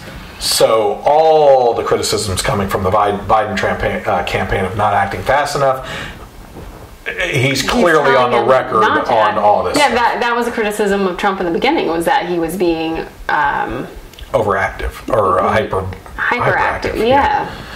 Uh, also, in the wake of the ban on Jan- uh, January 31st, an article in the New York Times quotes Dr. Michael Osterholm as saying that Trump's decision to restrict travel from China was, quote, more of an emotional or political reaction. The Washington Post runs a story quoting a Chinese official asking for empathy and slamming the White House for acting, quote, in disregard of WHO recommendation against travel restrictions. Vox tweets, is this going to be a deadly pandemic? No. The tweet was deleted weeks later. Canada's health minister, Patty Hajdu, uh, who would later say that there was no reason to doubt Chinese coronavirus data, says that the risk of the virus is, quote, low, and that early warning systems are working exactly as they should. The, quote, spread of the virus is contained, according to her, right? Her? Yeah. Yeah, Patty. Well, we can't assume. I was gonna Can't say, don't anymore. assume. Uh, also, on that day, death counts indicated that 213 people had died and nearly 10,000 had been infected. That was January. That was just January. Yeah. I don't remember hearing about it at all in January. Uh, yeah, I do somewhat. I'm more in tune to that stuff, politically wise, at Oh, least. yeah. February 2nd, there's a virus that has infected 15 million Americans across the country and killed more than 8,200 people this season alone, according to CNN tweets. It's not a new pandemic, it's influenza. So essentially, there are a lot of deaths, but it's not a new virus, it's, not, influenza. So don't be worried about it. Don't Yep. overreact. Meanwhile, on that day, the New York Health City Commissioner tweets As we gear up to celebrate the hashtag Lunar New Year in New York City, I want to assure New Yorkers that there is no reason for anyone to change their holiday plans, avoid the subway, or certain parts of the city because of hashtag coronavirus. February 4th, in his State of the Union address, Trump remarks We are coordinating with the Chinese government and working closely together on the coronavirus outbreak in China. My administration will take all necessary steps to safeguard our citizens from this threat. House Speaker Nancy Pelosi, on the other hand, rips up his speech as soon as it was over. That was fun. February 5th, over 5,000 passengers on two cruise ships in Asia are ordered into quarantine as a worldwide death toll from the coronavirus reaches 490. The Senate also acquits Trump on the two counts of impeachment that day. We all know where the focus was at that point in time. Mm-hmm. News wise, it was on the impeachment because that was more important than what was going on, which is why they can say retroactively now that Trump wasn't acting fast enough because they didn't cover it, so there's not much record to go back on and actually take a look at. Well, nobody's holding them to what they said beforehand. Yep.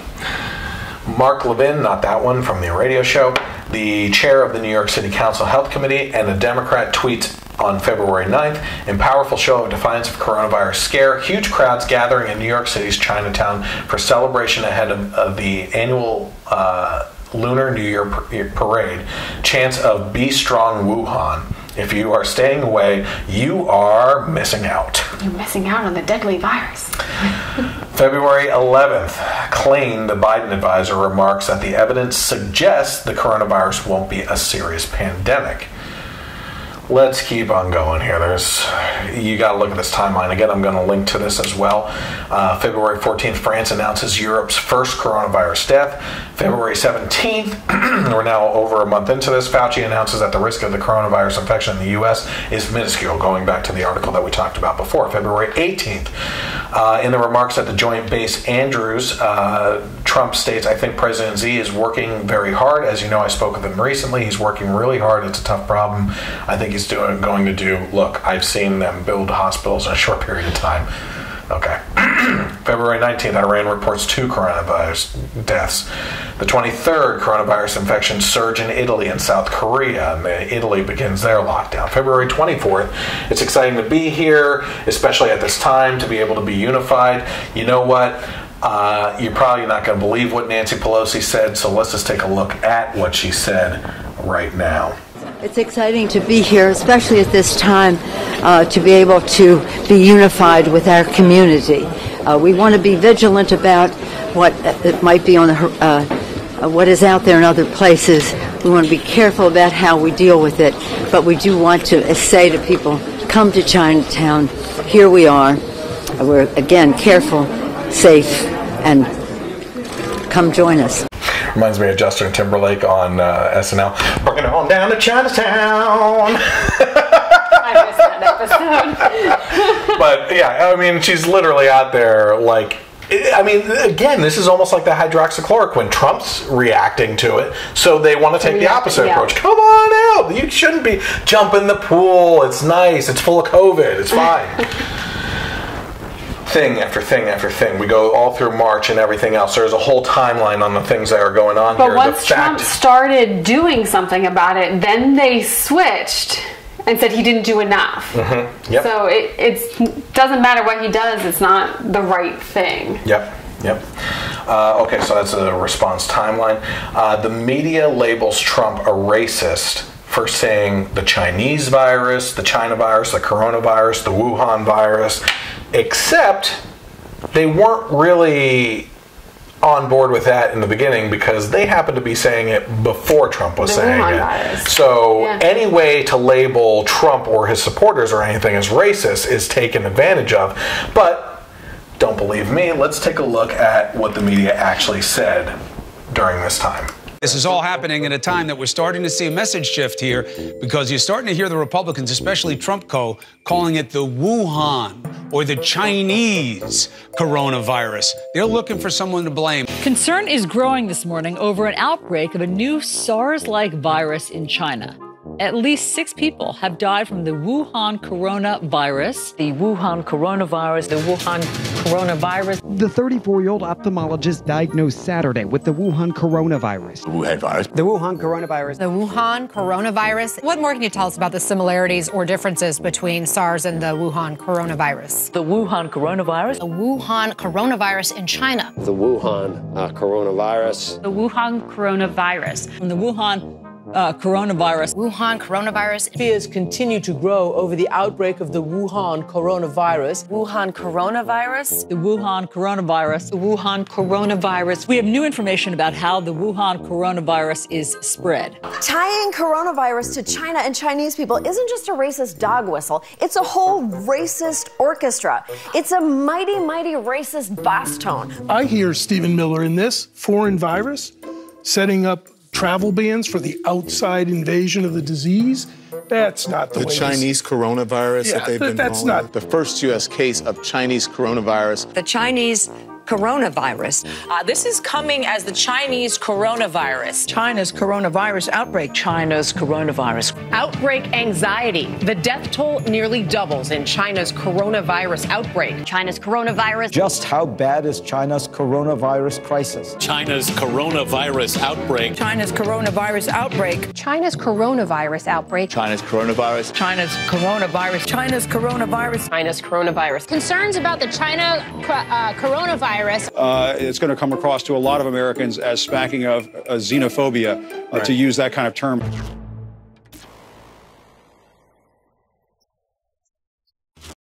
Before now, it's never been unusual to name a virus from where it originated. And, you know, I don't think Trump ever said, don't interact with Chinese people, you'll get the China virus. It, he's always been referring to where it originated. It needs a Called the name. West Nile virus. West Nile, the Spanish flu. Like it, it needs a name. They're all racist. Every if you don't know now, everything is racist. Well, it's one of those we didn't know better back then. yeah. Now we yeah. know better. Oh, now we're now we're But be- they- they we didn't are know better, better people than the people before. They didn't know better in March, and then now in May they know better, and they're not calling it anymore. No, it's because Trump started using Right. the terms. I'm, Um, yeah, okay. Uh, the media and the left will also take any side as long as it opposes Trump and his ideas or even his thoughts. So, this is something that was actually published by the BBC outside of America because they hate him just as much as our media does as well. Uh, coronavirus Trump's disinfectant and sunlight claims fact checked. Claim one. Uh, I wish I could, I could read it like him. I see the disinfectant where it knocks it out in one minute, and there is a way we can do something like that by injection inside or almost a cleaning because you see it gets in the lungs and it does a tremendous number on the lungs. It does a great number on the lungs, you know? So they that's the the claim they have to debunk is that is there a way to inject disinfectant into the body.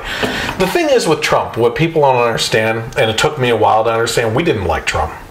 No. Personally, even we still have problems I- with him. yeah. But the fact of the matter is, once you get used to his way of speaking, it's like we sit, we listen to people, we think about how we want to respond, we formulate that opinion, and then we speak.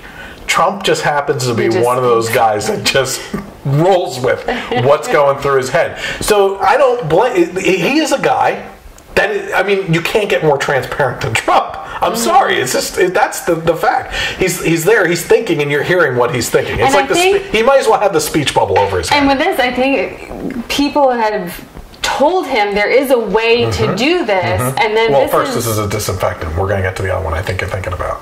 well, no, but there is something.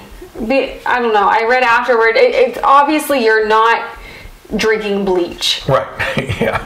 But there, there's some way to disinfect the blood. I, fr I, I don't know. I Mm-hmm. Okay. I kind of rubbed it off, but. The point is, I, I think people were telling him, like, oh, there are these options, and his way of articulating it, because he is not a medical doctor, is to say it in these terms that make sense to him, and yet people just think they they're taking him way too literally Yeah. because I, he never said to drink bleach or drink Lysol or and I you know anybody who needs to be told not to maybe I'm not going there. Never mind. Uh, the fact of the matter is, he's thinking about what's going on, and he just says it.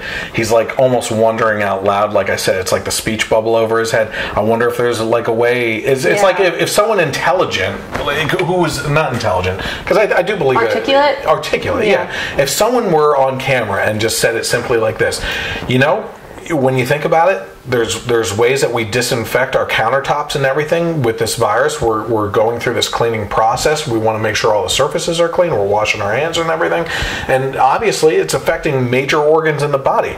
You know, you know, just thinking off the top of my head, is there a way that we could somehow disinfect those major organs? Uh, you know, internally, that's something that our scientists should be really looking at right now. The way he said it was a little bit more I was gonna say, if you were a Democrat, You that would have been hailed as such a yeah, good idea. yeah. Fauci says it. It's like all hail, all fa- Almighty Yeah. Fauci. You know what I mean? The other one that he, uh, the other claim was. Uh, I said, supposing you brought the light inside the body, because obviously the UV, there UV seems to be a cor- correlation. viruses, Yeah, the vitamin yeah. D portion and everything. Well, no, it's the UV rays.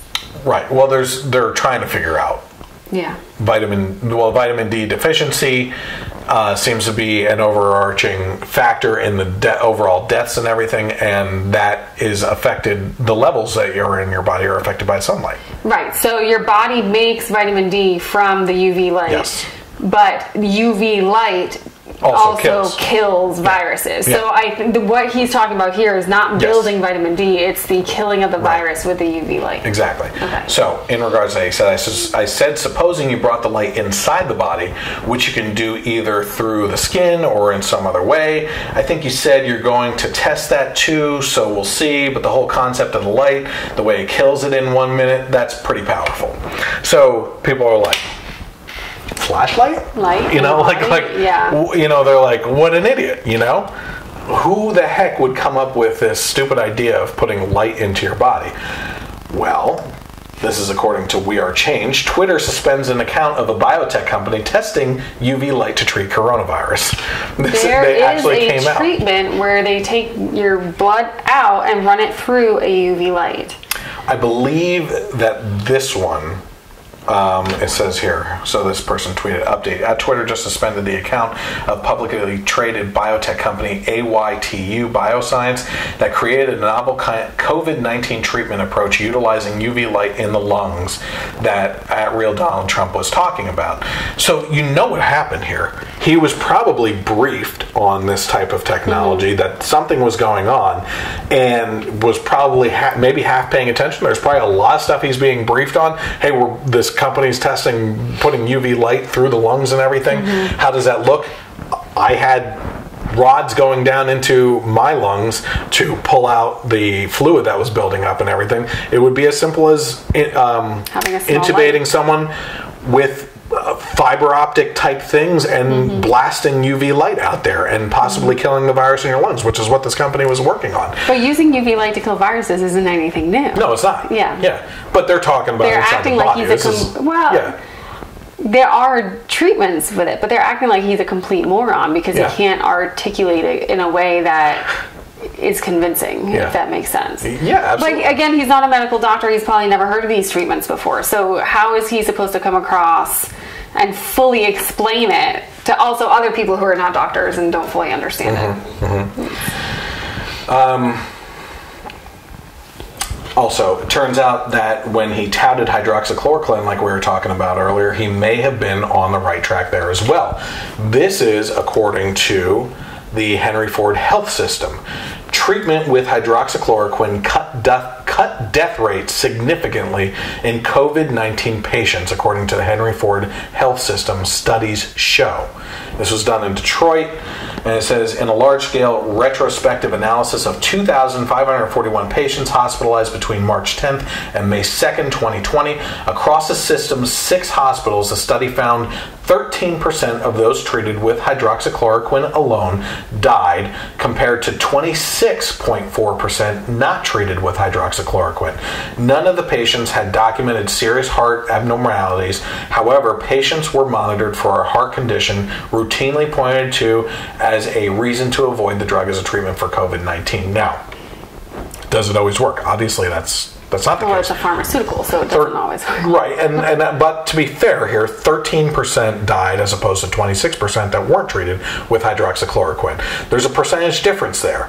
And what is the left always saying about the treatments? If it saves just one life, it's worth, going for it. Here, it's working for some people. It's the same concept I always talk about with education and why Common Core is so bad because it's the only way you're allowed to do things. Mhm. When we know damn well that some kids learn better by watching, some learning by doing, some by listening, some by participating, some by getting their hands dirty and everything. You know what I mean? There's multiple ways that kids learn. And we also know that when it comes to cigarettes, okay, I always use this example for health things. Not everyone who smokes cigarettes gets cancer. Right. Everybody's body reacts differently to things that are put into it, which is Mhm. exactly why we have a problem with vaccines, which we'll get to in a little bit. Because vac- we know people that have almost died from vaccines. We know those that have had serious side effects from vaccine. We've seen stories of people that gave vaccines to their kids that became immobilized, right? And it's because things injected into every anyone's body reacts differently according to that body type and everything. So, will hydroxychloroquine work for everybody? No. But if it works for some, it's worth shooting for. It, if it's that worth if that is offering one as an option that Yeah. they can choose. Yeah. Yep. That's all. You would think if this virus was so terrible that they would be embracing any attempt to reduce the death rate, but they're Yeah. not. It has to be a vaccine and nothing else. Yep. And that that should make you wonder. No kidding. Um, before I get into the last topic here, I actually forgot to uh, mention a another personal experience, not of myself, but of one of my friends, that I meant to show out in the crazy mandate section of the things that we are going over. I somehow missed this, and I just realized it. But one of my friends was in uh, Bethlehem and went to a restaurant uh, to eat outside. Okay, so this just gets crazier and crazier. And this is the experience she had, and thankfully she got this on video. No worries at all. I just want to make sure it's if you get like an appetizer or a soup, it's okay, but not dessert. Oh, wait, I'm so. Like if you get a dessert at the We table. were just told we couldn't order because we if you weren't get a- eating, but we were eating. Oh, But it was a I'm type just of curious. food? I'm just, I'm just It has to. We. It can't just be like a dessert. Okay. If you're because you want a drink, correct? So if you get an appetizer, though, it's okay. if you get it from appetizers, that's totally fine. So shrimp cocktail, cool. Chocolate cake, no. I'm, I'm so sorry. No, no, we're not. Yeah. We're not trying to start It trouble. just- I'm it's just just curious. strange. So is that a Hotel Bethlehem rule or like a? We just try to follow the curious. CDC guidelines Okay. as much as possible. Okay. All right. Thanks, guys. So, a couple things I want to point out here. Number one, I'm not trying to put Hotel Bethlehem on blast or have people protest it or No. anything because I do believe in most cases, like we talked about earlier, that employees are just trying to do what they're told to do And- so they don't get in trouble either. Restaurants are just trying to stay open Oh, yeah. any way they can. Yep, So yeah. yeah. Number two, thank you, Scott. That was funny about so cocktail shrimp, yes, chocolate cake, no. so, So the virus is very intelligent. yes, That's what we've learned. you so have no idea. I mean, Chinese you- people are very smart. It's true. That's that's a. so if you're uh, gonna sit in a restaurant and just drink a beverage, you're very much at risk for COVID. But if you are going to have a meal, you're not going to get it. In the same seat, same distance from everybody else, but it depends on what you eat. Mm-hmm. But if you go to Walmart, you won't catch it. Only at restaurants, only at mom and pop stores. excuse me, it comes back to uh, the Christians getting creative and everything. I think we need to start being creative as patrons of businesses. So I would have said, um, okay, I would like chocolate cake as an appetizer. you know. Of course you would. no, but I think so. Originally, it was Pennsylvania and New York have these restrictions, and they originally said you have to order food.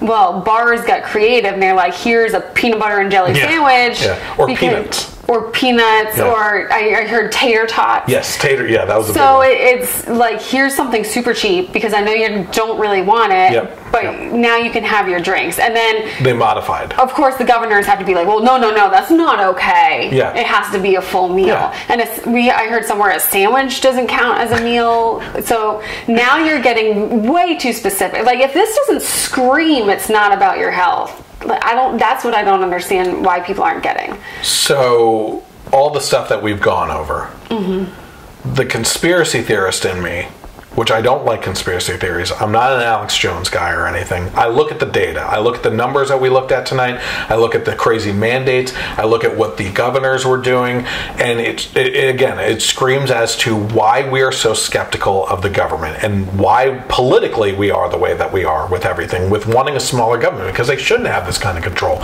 And the the part of me that looks at what's going on here, you know, my friend there, Rachel, posted this video, and she's getting a lot of traction with it. There's a lot of comments, and people are going, "What, what do they mean? What, that doesn't even make sense." Well, of course it don't know. Well, of course it doesn't make sense though, because the, it's supposed to be obnoxious and uh, just ridiculous. It's supposed to be that way. And the reason is because, in my mind, I believe they want to see how much they can control you. Mm-hmm. Where is the breaking point? How far can we push these people to comply with our asinine rules before they say, no, enough is enough? And then they measure that distance. They measure to see how much they can control us. Now, the, the, here's the biggest thing. Here's what I really fear, and it feeds back into making your kids little assholes too. Is the fact that we are we are using people. The people that are complying the most are also being used as useful idiots to control the rest of the population through shaming and uh, and uh, what is it? Shaming and I don't know the word control. It's just, it's just, it all comes down to control because social control. Because, they're the brown coats. Yeah, They're the brown coats. that are turning in their neighbors. That are Yes. yeah. That is what that that is what the government. So when you go on. to the manager of a store and say that person's not wearing a mask, that it's the same thing. You're turning in your neighbors. Yeah. Yeah. But uh, what does a government have to fear about an uprising of people if they can also rely on a certain percentage of Mm-hmm. that population to back them up with these mandates? Again, the the genius of your mask protects me, my mask protects you. Well, now I want you to protect me. Yeah. How dare you? You're trying to kill me. But then again, I'm gonna go drink a Mountain Dew and eat Twizzlers, but you better wear your mask to protect me because I care about my health. Well, no, you don't. No. You know, the most effective thing you can do is change your own habits. Somebody else wearing a mask is not going to have that much influence as you changing your life habits. If you're truly afraid of this virus, but nobody wants to do that, that's too difficult. It's easier to shame you into protecting me than me actually eating, you know, vegetables, which is hard to do, I'll admit. Mm-hmm. By the way, I know I'm getting crap for cursing and using the A word after the podcast, but I do believe that these people fit the bill. That's not the only one. Well, whatever. It- they deserve it. Anyway, uh, so so the last part here is summing all this up. What is the answer, right? Where is this? Where are we heading? Where is this all heading? Besides the fact that the government has already confirmed UFOs this year in the midst of all this and threw it under there. So, doctors now, according to this article, are pondering if the, the government can force and mandate vaccines for the virus under threat of penalties. Mm-hmm. Okay, so that's that is the next step. That is where we are heading right now. Is mandating a vaccine. So this whole my body, my choice thing. Uh, those same people are going to be saying, no, no, no, uh, it's my body you're affecting. Not that that works with the abortion argument because it's not really uh, that body either. But, you know, there's so many car deaths a year too. Well, that is actually the perfect comparison. Because if I get in a car, I am putting everybody else in the road, on the road, at risk with my driving. And they're doing the same to me. So, uh, what are we going to do? Are we going to mandate that all people, because of the number of deaths per year from car accidents, that we're going to mandate certain blackout periods for cars not to be traveling on the road to cut down the dust for that? Because you're putting my life at risk when you go out on the road? There's so many ways that we can apply this double standard across the board for all these types of things. But and this is this is according to Newsweek. This was actually written on April. I'm sorry, May 26th. Again, the links will be in the. Um, uh, in the video description and everything. It says state and federal governments can't force people to receive a new coronavirus vaccine against their will, according to experts, but lawmakers may be able to create a mandate that imposes consequences for not being vaccinated. So, what is this saying? No, no, no, no. Hold. On. We're going to come out there, okay? We're the we're the people that are going to be bastardizing this, right? That you know, no, you can't force me to put something into my body. Uh, Leslie, hold on a second, I'm Mr. Government. I'm not saying that you have to get a vaccine. I'm just saying that you cannot do business, you cannot travel, you mm-hmm. cannot send your kids into school if you use public school, you cannot go out into public, you cannot do merchant trading or buying or selling unless you have the, the vaccine. That's mm-hmm. all. You don't have to do it. You just can't do anything for the rest of your life.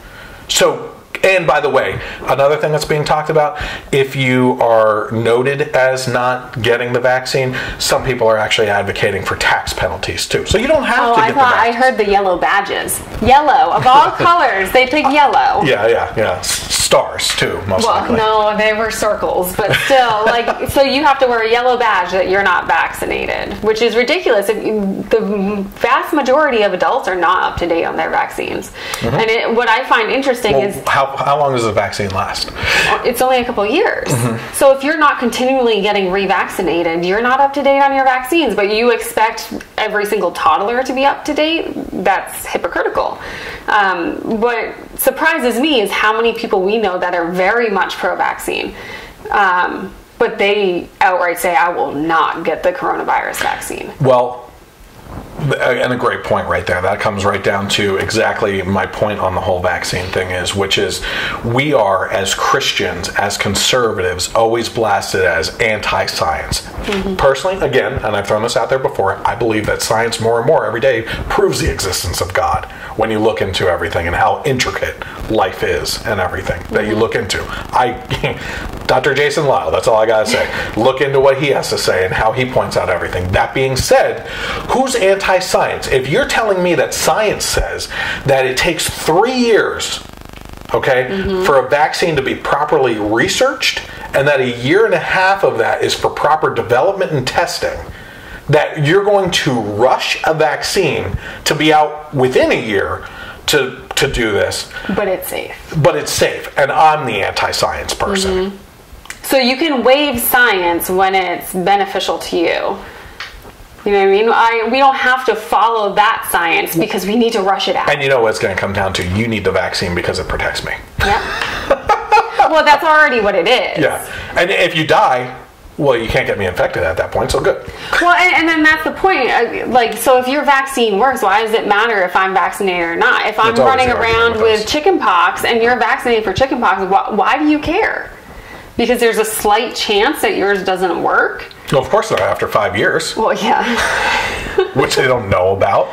Most, They- most adults don't realize they're not up to date. and and the, the, we could have we we've thought about I, I even have an interview lined up coming up soon with a politi- or a potential politician that did run and everything that her passion is anti-vax uh, platform and everything but we could have the conversation not tonight because this is this is ending a very long video and everything but I I sped read better than I ever have before in my life the conversation that you know people that get vaccines can't even read the ingredients until the package is open. And if the package is open, you can't open the package unless you're actually getting We the had that vaccine. issue personally. Yeah. And then mm-hmm. the fact that those that, you know, push the vaccine never do the research on it. Mhm. You know, they don't care about your research. They just Because know that my the doctor, doctor- says it. Yeah. And Who the is- vast majority of doctors have, I think it was one day in medical school learning about vaccines from the pharmaceuticals who create the vaccines, pharmaceutical companies. Um, and they, the vast majority of doctors, do not open the package Mhm. insert and Yep. read it. Yep. So that you're taking the word of somebody who's never opened a package insert and read what they are injecting into your body. Here's one thing I do want to talk about in regards to vaccines. So, because to have the knowledge of what's about to come, you think you think if you don't know anything about vaccines, well, if it if it turns out to be bad, if people start dying from the vaccine, if there's major complications, obviously the government can be held responsible for that. Right? No. Why? because under Reagan, um, I forget the Vaccine Liability Act, is that the name of it? You cannot sue the pharmaceutical companies for um, for any side effects or, or death. Um, there is a special U.S. court um, at the federal level that you can take your case to, and they have paid out billions of dollars to those who are vaccine injured or have died from vaccine. So we have proven in United States courts that vaccines are dangerous, and yet they're still pushed on us. Yep. Okay, uh, so speaking of doctors and everything, this isn't. Um, this is actually Alan Dershowitz. So this is something that he actually Yes. said in an interview as well. Uh, let me put it very clearly. You have no constitutional right to endanger the public and spread a disease, even if you disagree. You have no right not to be vaccinated. You have no right not to wear a mask. You have no right to open up your business. Wait, can I stop you? Did, yeah. No right not to be vaccinated, meaning if they decide you have to be vaccinated, we have to be vaccinated? Absolutely. And if you refuse to be vaccinated, the state has the power to literally take you to a doctor's office and plunge a needle into your arm. Well, that's pretty graphic. They have the authority to take you into the doctor's office and plunge a needle into your So we can no longer claim we are in a free society when we can't even decide what is and is not injected into our own bodies. Yep. Yep. That's ridiculous. Yep. Um, the next point that I was going to make is a point that you already made, which is how many people we know that even are pro vaccine that have said when this thing comes out, there's no chance in hell that I am doing it myself or putting my family through it. And I think that is a very clear warning sign, especially from our friends in the healthcare industry, that something's very wrong with the, mm-hmm. the rushing of this. And not only that, and I don't want to get into the details of this, but we know healthcare industry people that are supposed to be um, treated with uh, vaccines by different methods, I think, that find ways to cheat the system so that it doesn't actually enter their body. And that's Mhm. all I'm going to say about that. But when I see healthcare professionals not trusting it and being in the incub- incubator environment of these viruses and stuff like that, and they're still unwilling to protect themselves using these supposed vaccines and everything, it speaks volumes. It speaks Mhm. volumes to me, you know? And I think what Dershowitz said too is you when it affects me, you have no right to say no. Well, you don't innately carry these viruses. Yeah. You know, if you don't have coronavirus, you are not spreading coronavirus. So and, and a lot of I don't I can't speak for coronavirus vaccine obviously because it's not out yet. Mhm. But a lot of viruses, I mean, vaccines have live viruses. So you get injected with that live virus and you can spread it. So for you to say I I'm endangering you, well, I'm not because I'm not carrying that virus. So, point being, you and I both agree this is not happening. Vaccine is not happening in our family, despite any penalties and stuff like that. it's a serious discussion. We know that. That's going to have to be had if there's restrictions put out there. Uh, that's a discussion we're going to have to have in the future, but it's certainly not being injected into our kids, no matter No. what. And I mean, you and I have spent a lot of time researching the diseases and, and vaccines, and uh, you know, it, it wasn't just from Jenny McCarthy, and actually, none of my information came from Jenny McCarthy. Um, so this one would be no different. Yep. We would research this one as well, but when it first comes out, there's going to be no research to read because the testing has not been up to par, which is Well, not very they're, high. They're going to come out with it soon in Russia, so we could go off of what Russia Well, says. yeah. So if Putin says it's okay, then I will trust Putin. Yeah. Because we're agents. Uh, point being, you could I could tell you right where to put that vaccine if you come near us with it. That's it.